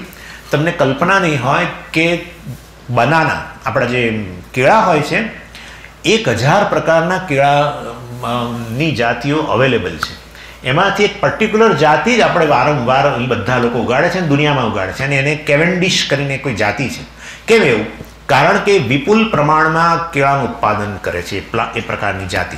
અને બીજું કે એને ટ્રાન્સપોર્ટની અંદર એ ઓછા પ્રમાણમાં બગડે છે. માટે વાપરીએ છીએ. પણ તમે વિચાર કરો કે હજાર પ્રકારના જો કેળા હોય, તો કેળા પોતે જ કેટલી વસ્તુઓ પ્રદાન કરી શકતા હશે એની આપણે કલ્પના જ નથી કરી શકતા. અને જે લોકોને રસ હોય આ જોઈ લે, અઠ્યાવીસ, ઓગણત્રીસ ઓક્ટોબરનો આર્ટિકલ છે. અને એકસો સિત્તેર પ્રકારના જ પ્લાન્ટ્સ વાપરીએ છીએ અન્ન તરીકે. એવો જ એક એક સમય હતો જ્યારે સાત હજાર પ્રકારના પ્લાન્ટ્સ હતા. એનું કલ્ટિવેશન થતું હતું અને એનો ફૂડ તરીકે ઉપયોગ થતો હતો, હજારો વર્ષો પહેલાંની. એમાંથી અત્યારે એકસો સિત્તેર પ્રકારના પ્લાન્ટ્સ જ આપણે ફૂડ તરીકે વાપરીએ છીએ. અને એમાંથી ચાલીસથી પચાસ ટકા આપણી એનર્જી ખાલી આ ત્રણ વસ્તુમાંથી જ આપણે મેળવીએ છીએ અને એ છે ભા, આપણા ચોખા, ઘઉં અને આ પેલે મકાઈ. ઇન શોર્ટ મારો કહેવાનો આશય એ છે કે અમે તો માંસાહાર એટલે કરીએ છીએ કારણ કે આ શાકાહારમાંથી કશું મળે નહીં કે પેલામાંથી કશું મળે નહીં. એ તદ્દન ખોટી ખોટી વસ્તુ છે. ઇનફેક્ટ પ્રોટીનનો અતિરેક જે છે એને કારણે મસલ્સને પણ બહુ મોટી એફેક્ટ થાય છે. માટે તે એથ્લેટ્સ એથ્લેટ્સ કોઈ નથી વાપરતા અને બીજા જિમ્નાસ્ટ પણ અમુક લોકો એ માંસાહારનો ત્યાગ કરે છે. હવે જો કે એનાથી પણ એક સ્ટેપ આગળ નીકળી ગયા છે આ લોકો બધા. દૂધ વગેરેને પણ ઉપયોગ નહીં કરવો, કોઈ પણ મિલ્ક પ્રોડક્ટનો પણ ઉપયોગ નહીં કરવો, એ બધી વાત. પરંતુ ઇન શોર્ટ કહેવાનો આશય કે આ વસ્તુ માંસાહાર કરવા માટે કોઈ કારણ નથી. શક્તિની દ્રષ્ટિએ ન્યુટ્રિયન્ટ્સની દ્રષ્ટિએ કોઈ એમાં કંઈ વજૂદ જોવા મળતું નથી. પરંતુ આ તો આધ્યાત્મિક ટોપિક હોવાને કારણે આપણે કેવળ અને કેવળ શાકાહાર અહિંસાને ધ્યાનમાં રાખીને જ કરવાની વાત કરીએ છીએ. અને હવે હું તમને વધારે એમાં બતાવું છું કઈ રીતે આ શાકાહાર કરવાથી અહિંસાનું પાલન થાય છે. મેં લખ્યું છે કે વાસ્તવમાં બધા જીવો જે છે એ પીડા રહિત જીવન જીવવા ઈચ્છે છે. પીડા રહિત એટલે બધા પ્રાણીઓને પોતાના જીવનની કિંમત હોય છે. પ્રત્યેક જીવિત વ્યક્તિ, જીવિત પ્રાણી જીવિત રહેવા માગે છે. અર્થાત એને જીવનની કિંમત છે. એટલે વૃક્ષ હોય, મનુષ્ય હોય, માછલી હોય, કંઈ પણ હોય, બધાને. છતાંય એવું જોવા મળે છે સમજો કે પોતાના જીવનની સભાનતા અને જીવન સામેના ખતરાની સભાનતાની દ્રષ્ટિએ તારતમ્ય છે. એટલે વૃક્ષ જે છે અને કૂતરું છે, આ બંને પ્રાણીઓ છે, બંનેને જીવનની કિંમત છે માની લઈએ છે. પરંતુ પોતાના જીવનના સામે ખતરો. કોઈ ભય હોય તો એની સભાનતા વૃક્ષમાં ઓછી છે, કૂતરામાં વધારે છે. અને તમે જોઈ શકો છો, કૂતરાને જેવું પકડો અથવા મારવા જાઓ તો તરત એ ભાગી જાય છે, કારણ કે એને લાગે છે કે અમારી હિંસા કરશે. જ્યારે વૃક્ષ સામે તમે એક કુહાડી લઈને જાઓ તો વૃક્ષ કંઈ ભાગતું નથી. આવું કદી આપણે જોયું નથી કે તમે કોઈ દૂધી વગેરે તોડવા માટે વેલા પાસે જાઓ ને દૂધી ભાગી જાય ત્યાંથી, રસ્તા પર દોડતી દોડતી જાય. આવું આવું બધું કંઈક તમે જોયું નથી. કૂતરું જે રીતે ભાગે, એ રીતે આ પ્રકારે વૃક્ષો ભાગતા હોય એવું જોવા મળતું નથી. ઇન શોર્ટ પોતાના જીવનની નો સામે જે ખતરો હોય એની સભાનતા જે છે, વૃક્ષોમાં બેર મિનિમમ છે. જરૂર, એ પણ હિંસા થાય, પરંતુ એમાં એ પ્રકારની સભાનતા ઓછી હોવાને કારણે એ અલ્પ હિંસા ગણાય છે. જ્યારે બીજા બધા પ્રાણીઓ વગેરે જે છે એ તો પોતાની જાતને બચાવવા માટે તમે જો હિંસા કરવા જાઓ તો પોતાની જાતને બચાવવા માટે એ હંમેશા દોડાદોડી કરે છે અને બચાવવા માટે પોતે ચીસો પાડે વગેરે ગમે તે. એટલે એ લોકો ઈચ્છે છે પોતાની હિંસા થાય એવું એ લોકો ઈચ્છતા નથી. જ્યારે આ વૃક્ષ વગેરે છે એ આવી પોતાની હિંસા થાય વગેરે પ્રકારની એની સભાનતા જણાતી નથી. એટલે જીવનને ટકાવવા માટેનો સંઘર્ષ કે ખતરાની સભાનતા વૃક્ષમાં ઓછી હોવાને કારણે વૃક્ષને ભોજન તરીકે, અર્થાત વનસ્પતિઓને ભોજન તરીકે લેવામાં અલ્પ હિંસા રહેલી છે. બીજી વસ્તુ, દરેક વખતે એવું જરૂરી નથી હોતું કે આપણે વનસ્પતિને મારીને જ આપણે ભોજન કરતા હોઈએ. તમે વૃક્ષ ફળો વગેરે જે છે, તમે તોડો કે ઇવન આ કોઈ વેલાઓ પરથી શાકભાજી તોડો, એવા સંજોગોની અંદર એ વનસ્પતિ કે એનો પ્રાણ જતા રહે એવું બનતું નથી. ઇન્ક્લુડિંગ પાલક વગેરે. આ ભાજી વગેરે પણ હોય છે. તમે જો થોડું ઉપરથી આમ કાપી લો, જ્યારે ઉગેલી હોય ત્યારે, તો નવા અંદરથી પાન વગેરે નીકળતું હોય છે. એટલે મોટાભાગની વનસ્પતિઓના તો આપણે આહાર તરીકે ઉપયોગ કરવા માટે આપણે જ્યારે એને કોઈક રીતે ઈજા પહોંચાડતા દેખાઈએ, તેથી એના પ્રાણ જતા રહેતા હોય એવું જરૂરી નથી. એની સરખામણીમાં આ જે પ્રાણી વગેરે છે, એ તો પોતાનો જીવ ગુમાવે જ છે. જેને ભોજન તરીકે તમે લો તો એ પોતાનો પ્રાણ ગુમાવે છે. અને મેં કહ્યું પ્રમાણે કોમન સેન્સ એ છે કે જો હું કોઈ બીજા જીવનું ભોજન બનવા માટે તૈયાર ન હોઉં, તો મારે કોઈ બીજા જીવને મારા ભોજન માટે એનો જીવ ન લેવો છે. બરાબર છે? આ વસ્તુ આપણા હૃદયમાં હોવી જોઈએ.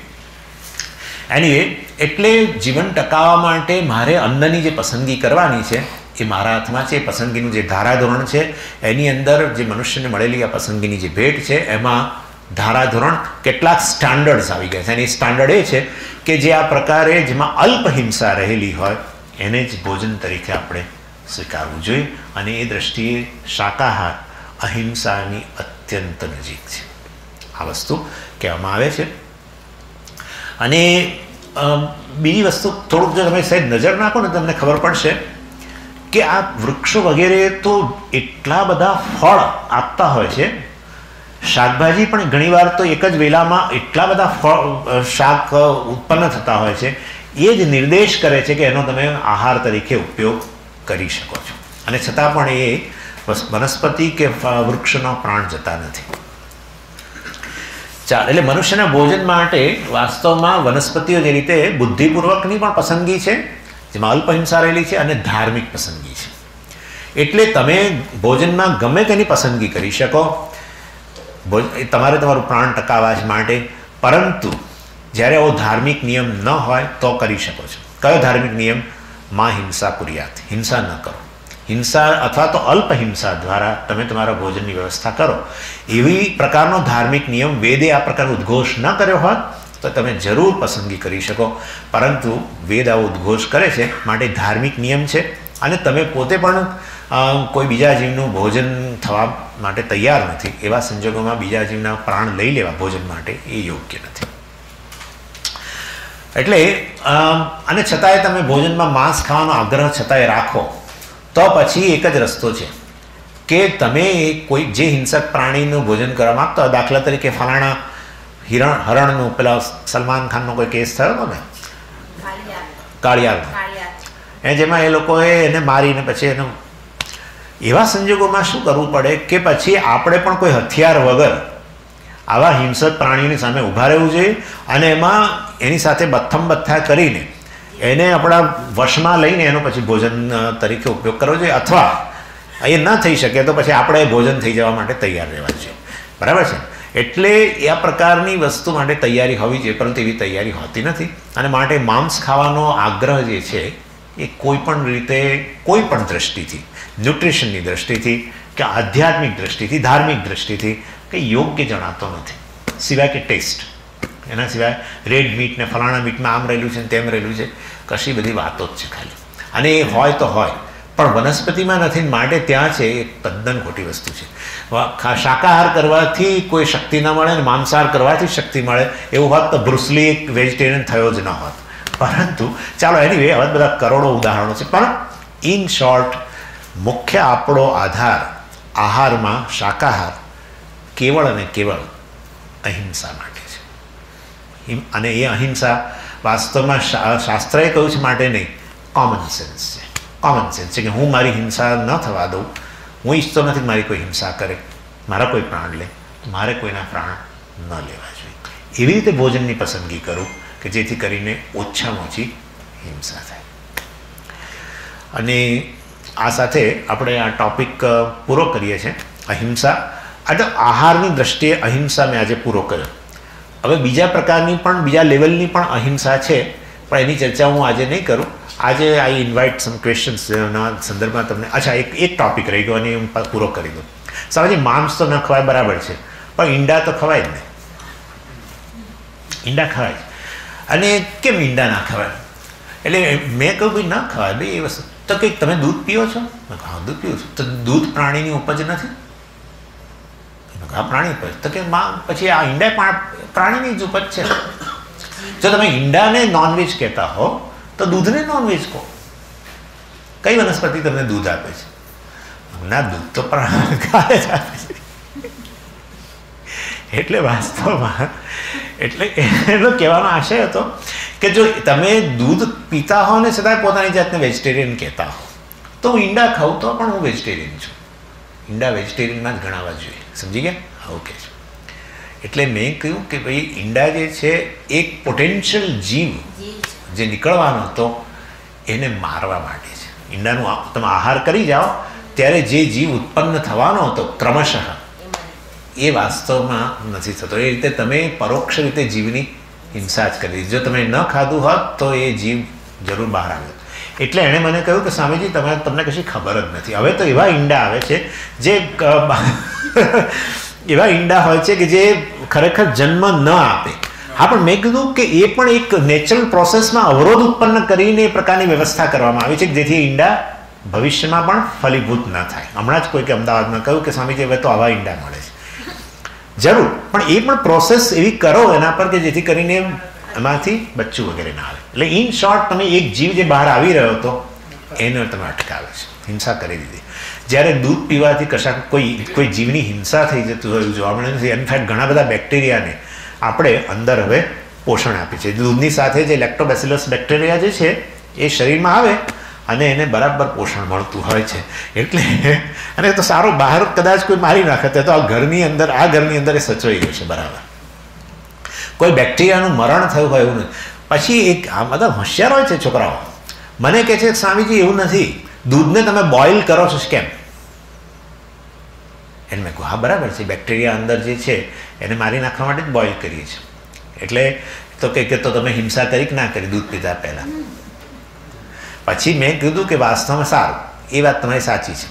પરંતુ એ દૂધ ઠંડુ પડે અને તમે ફરી ગરમ ન કરો, તો શું થાય છે? ફાટ, ફાટવું એટલે શું? પેલા જે બેક્ટેરિયા હતા અંદર એ એક્ટિવ બન્યા. એટલે વાસ્તવમાં દૂધને બોઇલ કરો ત્યારે બેક્ટેરિયા મરી નથી જતા ઇનએક્ટિવ થઈ જાય છે. જો બેક્ટેરિયા રહિત જ થઈ ગયું હોત તો દૂધ બગડવું જ ન જોઈએ, ગરમ ન કરો તો પણ. એકવાર ગરમ કર્યા પછી બગડવું ન જોઈએ. પણ બગડે છે, મતલબ કે અંદર જ રહેલા બેક્ટેરિયા પોતાની પ્રોસેસ પાછી ચાલુ કરી દે છે. આટલું જ હોય છે. ઇન શોર્ટ દૂધ પીવું અને ઈંડા ખાવા એ જુદી જુદી વસ્તુઓ છે. સમજી ગયા? એટલે આ રીતે વાસ્તવની અંદર આ આ પ્રકારે આ અહિંસા માટે શાકાહાર વગેરે જે છે એ મુખ્યત્વે આ અહિંસાના સંદર્ભમાં છે. આપણે જોઈ લીધું. હવે તમારે લોકોને કંઈક ક્વેશ્ચન્સ હોય તો પૂછી શકો છો.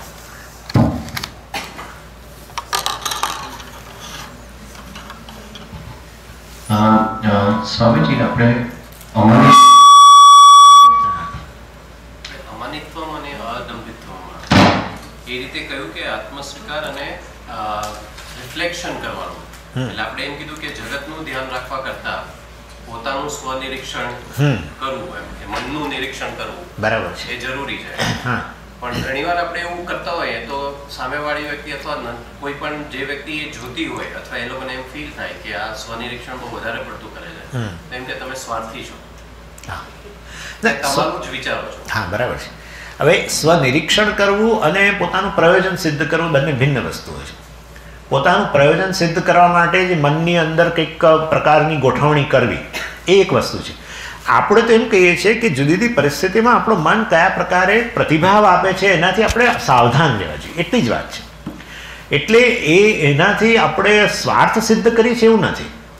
પરંતુ દુનિયાનું નિરીક્ષણ કરવાને બદલે આપણે આપણા મનનું નિરીક્ષણ કરવું વધારે યોગ્ય છે, કારણ કે આપણે જે કંઈ જગતના પ્રતિભાવ આપીએ છીએ, આપણા મન થકી આપીએ છીએ. અને માટે મન કયા પ્રકારે પરિસ્થિતિમાં કેવો પ્રતિભાવ આપે છે, એનાથી તો આપણે તો એલર્ટ હોવા જ જોઈએ. એટલું જ છે ખાલી. બાકી એમાં કોઈ સ્વાર્થ વગેરે પોતાનો કોઈ પર્પઝ સિદ્ધ કરી દઈએ છે એવી વસ્તુ નથી.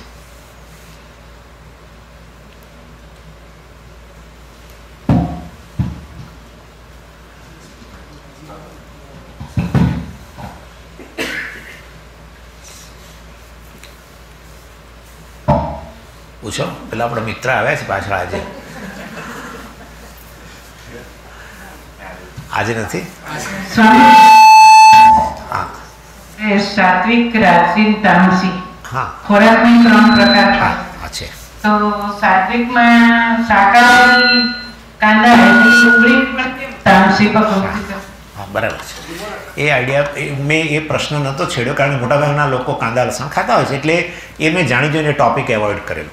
પણ એ એને આ આવો પ્રકારનું આ જે કાંદા અને લસણ છે ને એ એને તમારે એની એની શરીર પરની અસર જો જોવી હોય ને તો એક દિવસ ભૂખ્યા પેટે કાંદાનો રસ કાઢીને ભૂખ્યા પેટે પીજો અને પછી તમે જુઓ શું સ્થિતિ થાય છે. અથવા ડુંગળીનો રસ અરે લસણનો રસ કાઢીને ભૂખ્યા પેટે પીજો તો તમને ખબર પડશે કે એની શરીર પર કેવા પ્રકારની અસર હોય છે. નહીં પી શકો. અને કદાચ પીધો હશે તો સ્ટમક વોશ કરાવવું પડશે. એવી સ્થિતિ થાય છે. એટલે આટલી બધી જલદ વસ્તુ કહેવાનો હશે એવો છે જલદ વસ્તુઓ છે. પણ આપણે સામાન્ય રીતે એટલે તો પછી સ્વામીજી પણ લસણમાં તો એવા ગુણ છે કે કોલેસ્ટ્રોલ આમ કરે ને ફલાણું કરે ને ઢીકણું કરે બરાબર છે. કોઈ વસ્તુનો મેડિસિન તરીકે ઉપયોગ કરવો, એક વાત છે, અને કોઈ વસ્તુનો આહારમાં ઉપયોગ કરવો, જુદી વસ્તુ છે. ફૂડ તરીકે ઉપયોગ કરવો, એક વસ્તુ છે. મેડિસિન તરીકે ઉપયોગ કરવો, જુદી વસ્તુ છે. સામાન્ય રીતે લોકો મેડિસિન તરીકે નથી લેતા આહારમાં દરેક દરેક વસ્તુમાં મને કહેતા જ હોય, સ્વામી ડુંગળી લસણ વગર તમે કઈ રીતે ખાઈ શકો છો? મને કહે છે જ લોકો. એ તો હોવું જ જોઈએ. એના વગર કશું થાય જ નહીં. એના વગર કશું બને જ નહીં. એના વગર કશાનો સ્વાદ જ ના આવે, વગેરે વગેરે. એટલે એ આહાર તરીકે વાપરવા માંગે છે. જ્યારે કંઈક તમારા કંઈક કોલેસ્ટ્રોલ વગેરે હોય ને એનો આ ગુણ હોય, કોલેસ્ટ્રોલ રિડ્યુસિંગ માટે હવે તો પેલી અળસીથી માંડીને ઘણી બધી ફ્લેક્સિડ્સ ને બધું ઘણું છે, પણ છતાંય તમને હોય કે મારે તો લસણ જ લેવું છે. તો જરૂર લો. લો. પરંતુ પછી હવે કોલેસ્ટ્રોલ ન હોય અને છતાંય હવે ચાલુ રાખવું તો એ તો આહાર તરીકે જ ઉપયોગ કરવા માંગુ છે નક્કી થઈ ગયું. ના ના, વાંધો નહીં, એ તો એટલે એ ટોપિક મેં નહોતો કાઢ્યો, કારણ કે મોટાભાગના લોકો ખાતા હોય ત્યારે તો થાય કે આ સ્વામીને ક્યાં પનારે પડે, આપણે તો એટલે ચાલો એ તો જવા દઈએ, પરંતુ ખાસ ઈંડાના સંદર્ભમાં. એ ખરું. અને સાત્વિક ફૂડ જે છે, જે જે ફૂડ જે આહારમાં જીવન હોય, જે વનસ્પતિઓ કે આપણા ફ્રૂટ્સ વગેરેમાં જીવન, અર્થાત તાજ, તાજા હોય એનો તમે ઉપયોગ કરો, કાચા હોય ત્યારે વગેરે જ. કાચા ઉપયોગ કરો કે લાઇટ બોઇલ કરીને ઉપયોગ કરો, એ બધા સાત્વિક ફૂડ ગણવામાં આવે છે, કારણ કે એમાં જીવન છે. સત્વ એટલે જીવન બાય ધ વે સત્વ નોટ થાય છે જીવન. એટલે એમાં સત્વ છે એવું બોલીએ છીએ આપણે. એટલે કે એમાં જીવન છે. એટલે વાસી ફૂડ ભગવાન એની બહુ સત્તરમા અધ્યાયમાં ટીકા કરી છે. કેટલાય લોકો સવારનું સાંજે નતા બીજે દિવસે ગરમ ને એ પાછું ગરમ કર્યા પછીનું પાછું ફરી ફ્રીજમાં ત્યાંથી પાછું ફરી આવું તો ચાલે છે ને? અમેરિકાની અંદર તો મેં એવું સાંભળ્યું, મને ખબર નથી. પણ અમારા એક બેન સાઉથ ઇન્ડિયન બેન અમદાવાદ આવેલા. એટલે અમે કહ્યું કે તમારા હસબન્ડ તો કશું બનાવવાનું જાણતા નથી.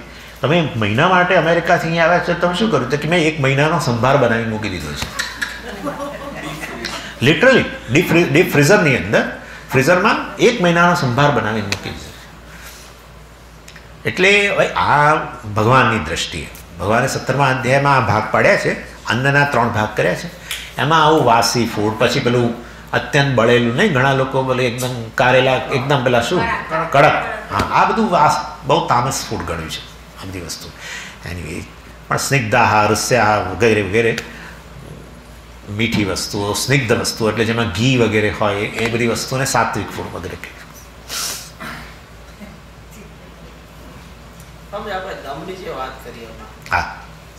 કે કે if you don't show something hmm. Other we feel that you are nothing. હા. એટલે ઘણીવાર શું સારા માણસોને વચ્ચે જવા માટે ઘણા પોતાની જાતને પ્રૂવ કરવા માટે સમ શો બિઝનેસ કરે છે. હા.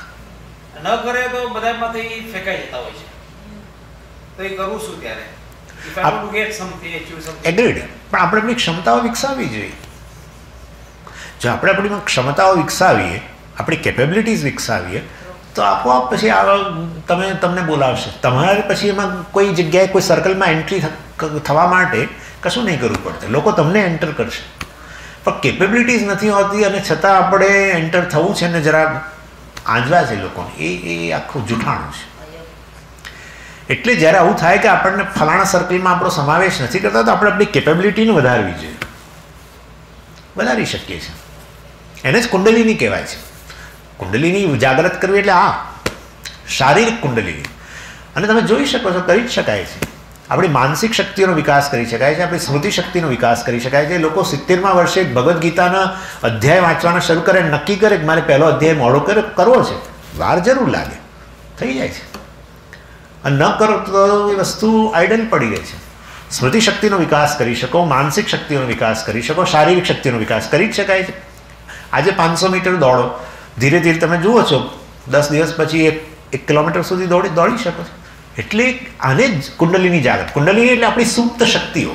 કુંડલીની એટલે આપણું આપણું જેમ પેલું સર્પ જે હોય, એ જ્યારે એની શક્તિઓ સુપ્ત હોય ત્યારે કેવું ગૂંચળામાં સૂતેલો હોય છે. એ વાસ્તવમાં જ્યારે પોતાનું ગૂંચળું ખોલી નાખે ત્યારે એની જાણે કે એની શક્તિઓ જાગૃત થાય છે. That's all. અને કુંડલીની શબ્દ યોગની અંદર વપરાયો પ્રાણિક શક્તિઓને જાગૃત કરવા માટે, પ્રાણાયામ વગેરે દ્વારા કરે છે.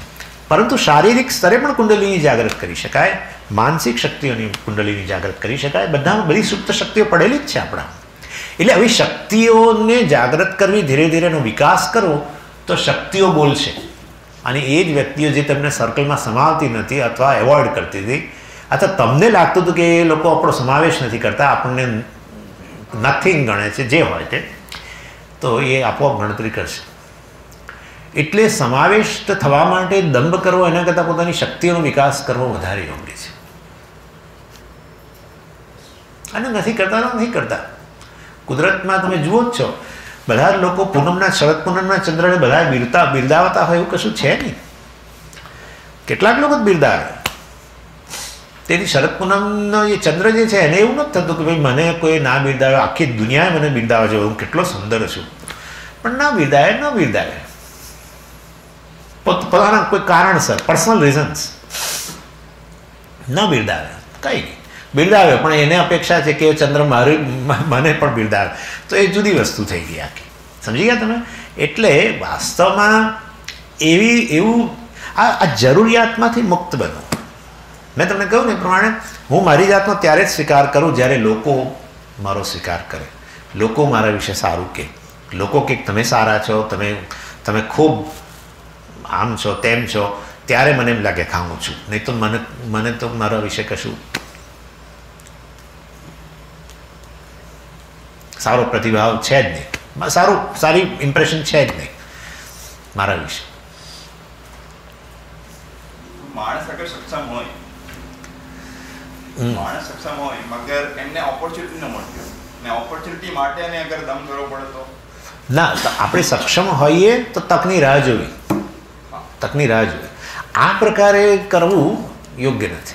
તકની રાહ જોવી. અથવા આવી તક પ્રાપ્ત થાય એના માટે કઈ વ્યક્તિઓને મળવું જરૂર? એમાં તમે દંભ નથી કરતા. યોગ્ય વ્યક્તિઓને મળવું. ઘણીવાર લોકો એવું જ કરતા હોય છે પોતાના ક્ષમતા હોય. ક્રિકેટમાં આવું ખાસ બનેલું છે. કે જેમાં પોતાની શક્તિ હોય, પણ કોઈ યોગ્ય વ્યક્તિઓનો સંપર્ક કરે કે ભાઈ મારી આવી કેપેબિલિટી છે અને એને લાગે. તો જરૂર લે છે ટેસ્ટ ક્રિકેટમાં ગયેલા છે આ રીતે ઘણા લોકો. એટલે એ- યોગ્ય વ્યક્તિનો સંપર્ક કરવો, જેના દ્વારા યોગ્ય તરફ તક પ્રાપ્ત થાય ને પછી સફળતા મળે. જરૂર કરી શકાય. પણ એના માટે લોકોની નજરમાં, લોકોને લોકોની નજર આંજી દેવી કોઈ પણ રીતે ન હોય છતાં એની આપણે વાત કરી છે. એ યોગ્ય નથી. અને જે છે, એના માટે યોગ્ય તક પ્રાપ્ત કરવી છે. જરૂર, એના માટે કોઈકની પાસે લાગવગ હોય, જરૂર ઉપયોગ કરવો જોઈએ. કોઈની પાસે એવી લાગવગ હોય અને એને આપણે એને ખબર ન હોય કે તમારામાં આવી શક- શક્તિઓ છે, જરૂર કહો. જરૂર, એમાં કંઈ ખોટું નથી. આપણે તો કઈ વાત કરી છે, ઘમંડ અને આ પ્રકારનો દંભ, જુઠ્ઠું. છે નહીં ને બતા દેખાવ કરી, એની વાત કરી છે. અને ઘમંડ છે ખરો, પણ હું મારે, મને એમ છે કે દુનિયા બધાએ મને સલામ કરવી જોઈએ. કારણ કે હું આટલું સરસ રમું છું. જરૂરી નથી ભાઈ જરૂરી નથી. જેને ક્રિકેટમાં રસ જ નથી, એ તમે ગમે એટલું સારું રમતા પણ એને માટે જેને ક્રિકેટનો સી જ નથી ગમતો, સમજો? કલ્પ કલ્પના કરો. છે એવા લોકો કે જેને ક્રિકેટ નામની ગેમ જ નથી ગમતી. એક બોલ લઈને આ શું બાર જણા એટલે કંઈક એ હવે એવા લોકોને તમે આની આગળ જઈને કે કહો કે હું આટલો સારો ક્રિકેટ રમું છું, તું મારી સામે ના હોય. જેને પોલિટિક્સની કિંમત નથી, એ ભલે પ્રાઇમ મિનિસ્ટર ગમે તે કરે જે કરે તે, કોણ રાજ કરે છે એ જ ના ખબર હોય. ઘણી વાર તો આવા લોકો હોય કોણ રાજ કરે છે એ જ નથી ખબર. એટલે this is how it is એટલે કહેવાનો આશય છે, આપણી ક્ષમતાઓ જાતે બોલે તો સારું, ન મળે તો એના માટે યોગ્ય તક પ્રાપ્ત કરવા માટે વ્યક્તિનો સંપર્ક પણ જરૂર કરી શકાય. પણ એ વ્યક્તિના સંપર્કથી આપણે એ વ્યક્તિ પાસે માન નથી માગતા અન્ડરસ્ટેન્ડ આપણે એક તકની માટે પ્રયત્ન કરીએ છીએ. તકની માગણી માંગવી એમાં જુદું. ના એ જુદી જ વસ્તુ છે.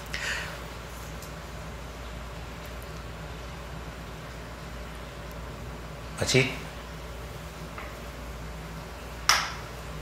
છે કોઈ પ્રશ્ન ગૌતમભાઈને? સવાલ આવે છે કે કહેવાય છે કે ગમ ખાવા માટે મગ ખાવા મગ ખાઈએ ગમ ખાય એ તો આ પેલું ગમ ને મગના ખાલી શબ્દોનો ભેદ સિવાય મને એટલે શબ્દોની રમતથી બીજું મને તો કંઈ નથી લાગતું. કારણ કે એમાં ગમ ખાવી આખી વસ્તુને અન્ન સાથે કોઈ કન્સર્ન નથી. એ આખી વસ્તુ એક મનને શિક્ષણ આપવા સાથે કન્સર્ન છે. મનને શિક્ષિત કરો આ બધી વસ્તુ મનને શિક્ષિત કરવા માટે છે. We are educating our mind basically એટલે મનનું શિક્ષણ જુદી વસ્તુ છે. અને અન્ન સાથે એ પ્રકારનો સંબંધ નથી. પેલા તો ગમ અને મગ ઊંધું કરો એટલે એ- એવું. એ જરાક શબ્દની રમત.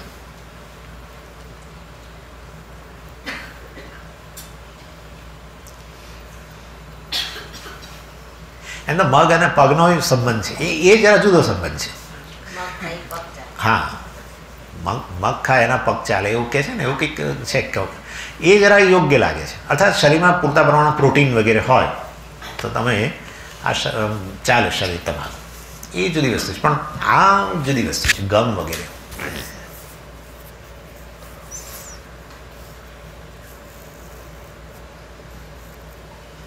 નથી પણ પ્રશ્ન નથી?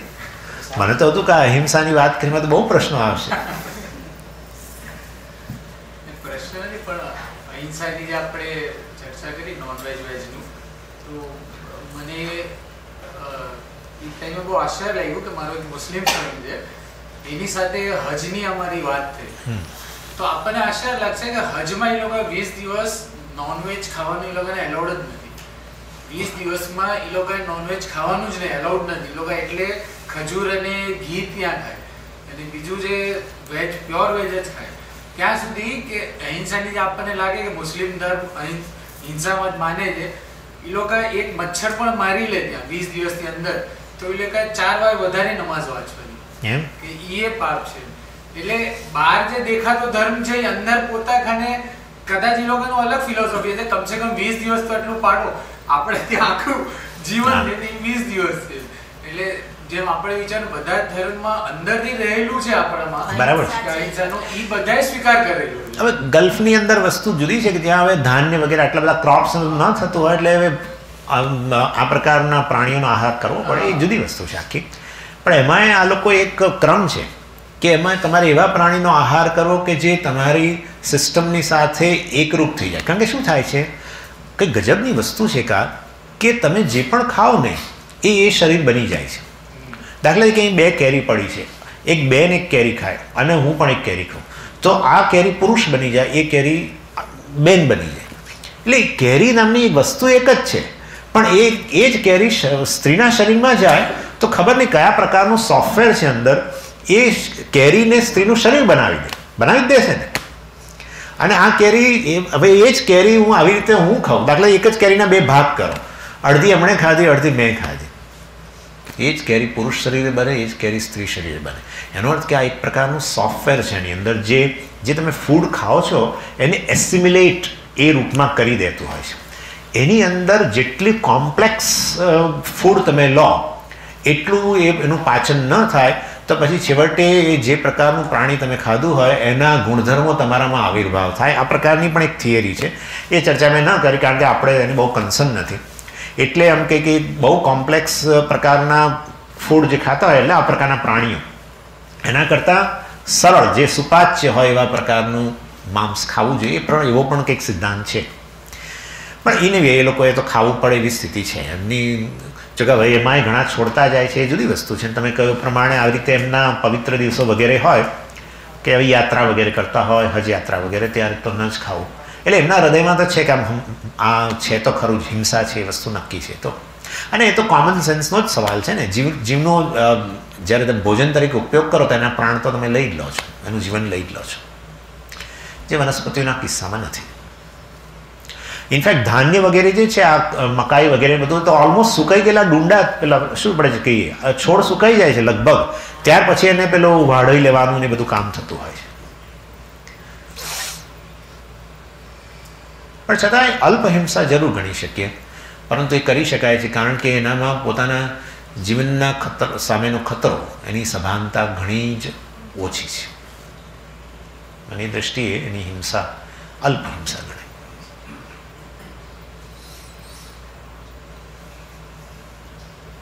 આપણે જે પ્રમાણે કીધું કે દંભિત્વ એટલે દંભી વ્યક્તિ એ વધારે એટલે એ સ્વભાવ અથવા એ ગુણ એ વધારે ખતરનાક છે. મને તો કરતા કારણ કે એ તો ઓલરેડી છે કેપેબિલિટી એટલે માન માગે છે. તો છે જ નહીં તો પણ માનની આશા રાખે છે. તો એવા વ્યક્તિને આપણે કંઈ કહેવું હોય કે તમે દંભ ન કરો. તો કઈ રીતે કહી શકાય? આ હું તો માનું છું કે આવું કોઈ પ્રવચન હોય ને, જો તમે મતલબ નોટ્સ લખેલી હોય, તો એક દિવસ અનુકૂળતા હોય ત્યારે ડિસ્કશન કરી શકો. જે એની અનુકૂળતા, એને મનની અનુકૂળતા જણાય, તમારા તરફ જરા ફ્રેન્ડલી બન્યા હોય, તો એવા સંજોગોમાં ટી ટેબલ પર આ પ્રકારે ચર્ચા કાઢી શકાય કે આવું ભગવાને કહ્યું છે, એમ કરીને કોઈકે કહ્યું છે કરીને કોટ કરી શકાય. મારે તને આવું કેવું છે એમ નહીં, પણ કે આ એક બહુ સરસ મુદ્દો મારે સાંભળવામાં આવ્યો, એમ કરીને વાત કાઢી શકો છો કે આ હું જાણું વગેરે વગેરે. તો કદાચ એ સાંભળવા તૈયાર થાય. તમે બોલો છો તો કદાચ એકદમ એ ન સ્વીકારે એવું બને. પછી સ્વીકારે પણ શરૂમાં. પણ કાઢી શકાય ખરું. કેવી રીતે દંભ પોતાના જ જીવનની અંદર હાર્મફુલ છે? હા. એ તમે સમજાવી શકો.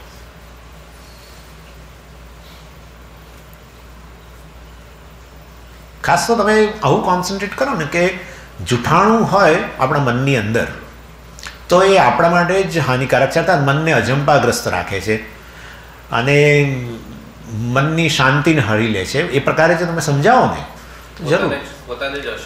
તે એવું એ તમને પૂછશે જ જો કે મનની મનમાં જૂઠાણું હોય તેથી શું? એમાં એ કઈ રીતે મનની શાંતિ હરી લે? કારણ કે સત્યનું મૂલ્ય છે. પ્રત્યેક વ્યક્તિને જુઠ્ઠામાં જુઠ્ઠી વ્યક્તિને સાચો જ વ્યક્તિ ગમે છે.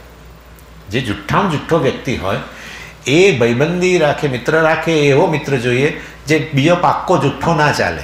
એ- એને જોઈએ સત્ય. સત્ય વચન કહેનારો જ જોઈએ.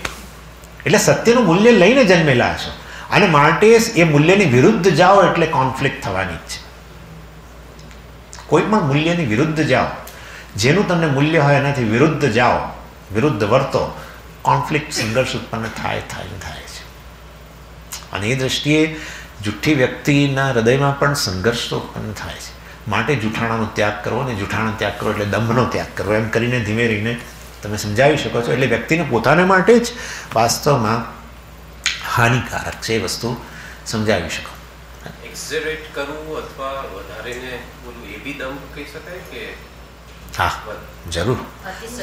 ચેટરિંગ બોક્સ આપણે જેને કહીએ છીએ. ચેટરિંગ બોક્સ એટલે ભારતની અંદર એક પર્ટિક્યુલર રાજ્યવાળાઓ માટે ખાસ આ વપરાય છે કે એ લોકો ચેટરિંગ બોક્સ એવું નામ એની પરંતુ એ તો એવી ઇમ્પ્રેશન હશે ભારતમાં. પરંતુ એ વસ્તુ સાચી છે. વધુ બોલવું એ દ્વારા આ વ્યક્તિ બીજાઓને આંજવાનો પ્રયત્ન કરતો હોય છે. પણ એ પ્રકારનું બોલ, બોલવું કે જેમાં પોતે જ કેન્દ્રમાં હોય. હા. પોતે કેન્દ્રમાં હોય એવું રાખીને જે સતત બોલતા હોય છે એ લોકો એકની તો બીજી રીતે દંભ કરી ગયા છે.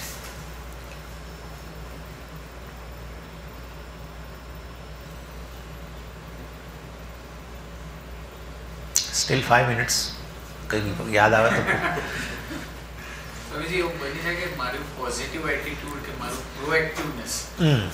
મારી દ્રષ્ટિએ પ્રોએક્ટિવનેસ કે મારું પોઝિટિવ એટીટ્યુડ બીજા માટે મારો દમ હોય? હોઈ શકે. હોઈ શકે હોઈ શકે, પણ આપણે પ્રોએક્ટિવ રહેવું વધારે જરૂરી છે. હું માનું છું ત્યાં સુધી જે લોકો પ્રોએક્ટિવ છે ને, એ લોકો સ્વાર્થ કરતાં અન્ય માટે વધુ કરનારા હોય છે. જે લોકો પ્રોએક્ટિવ દાખલા તરીકે એક એક્ઝામ્પલ આપું છું તમને. આપણે અહીંયાથી ઉપર જઈ રહ્યા છીએ. આપણે બધાએ નીકળીશું. પણ કેટલાકના કેટલાક લોકો એવા હોય કે જે રસ્તામાં પડતા જે પેલું સીડી પર કદાચ કોઈ કચરો પડ્યો હોય કાગળનો ટુકડો પડ્યો, પ્લાસ્ટિક પડ્યો, તો આમ ઉઠાવી લે.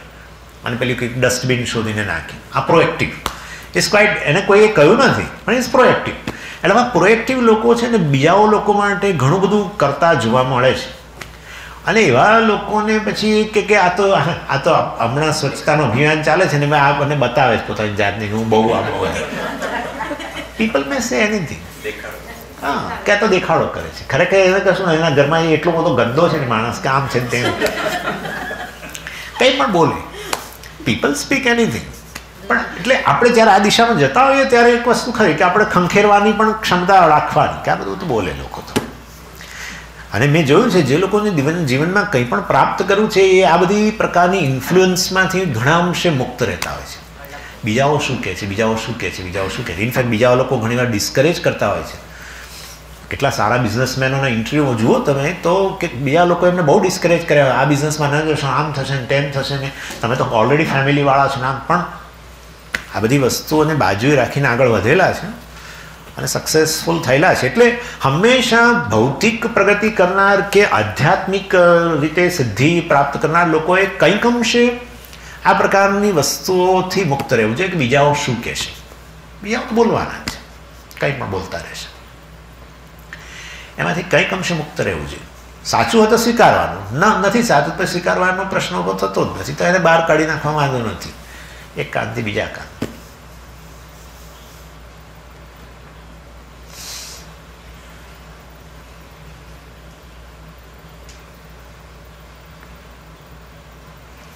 થઈ ગયું? ઓવર ॐ पूर्णमदः पूर्णमिदं पूर्णात् पूर्णमुदच्यते पूर्णस्य पूर्णमादाय पूर्णमेवावशिष्यते। ॐ शान्तिः शान्तिः शान्तिः। हरिः ॐ श्रीगुरुभ्यो नमः। हरिः ॐ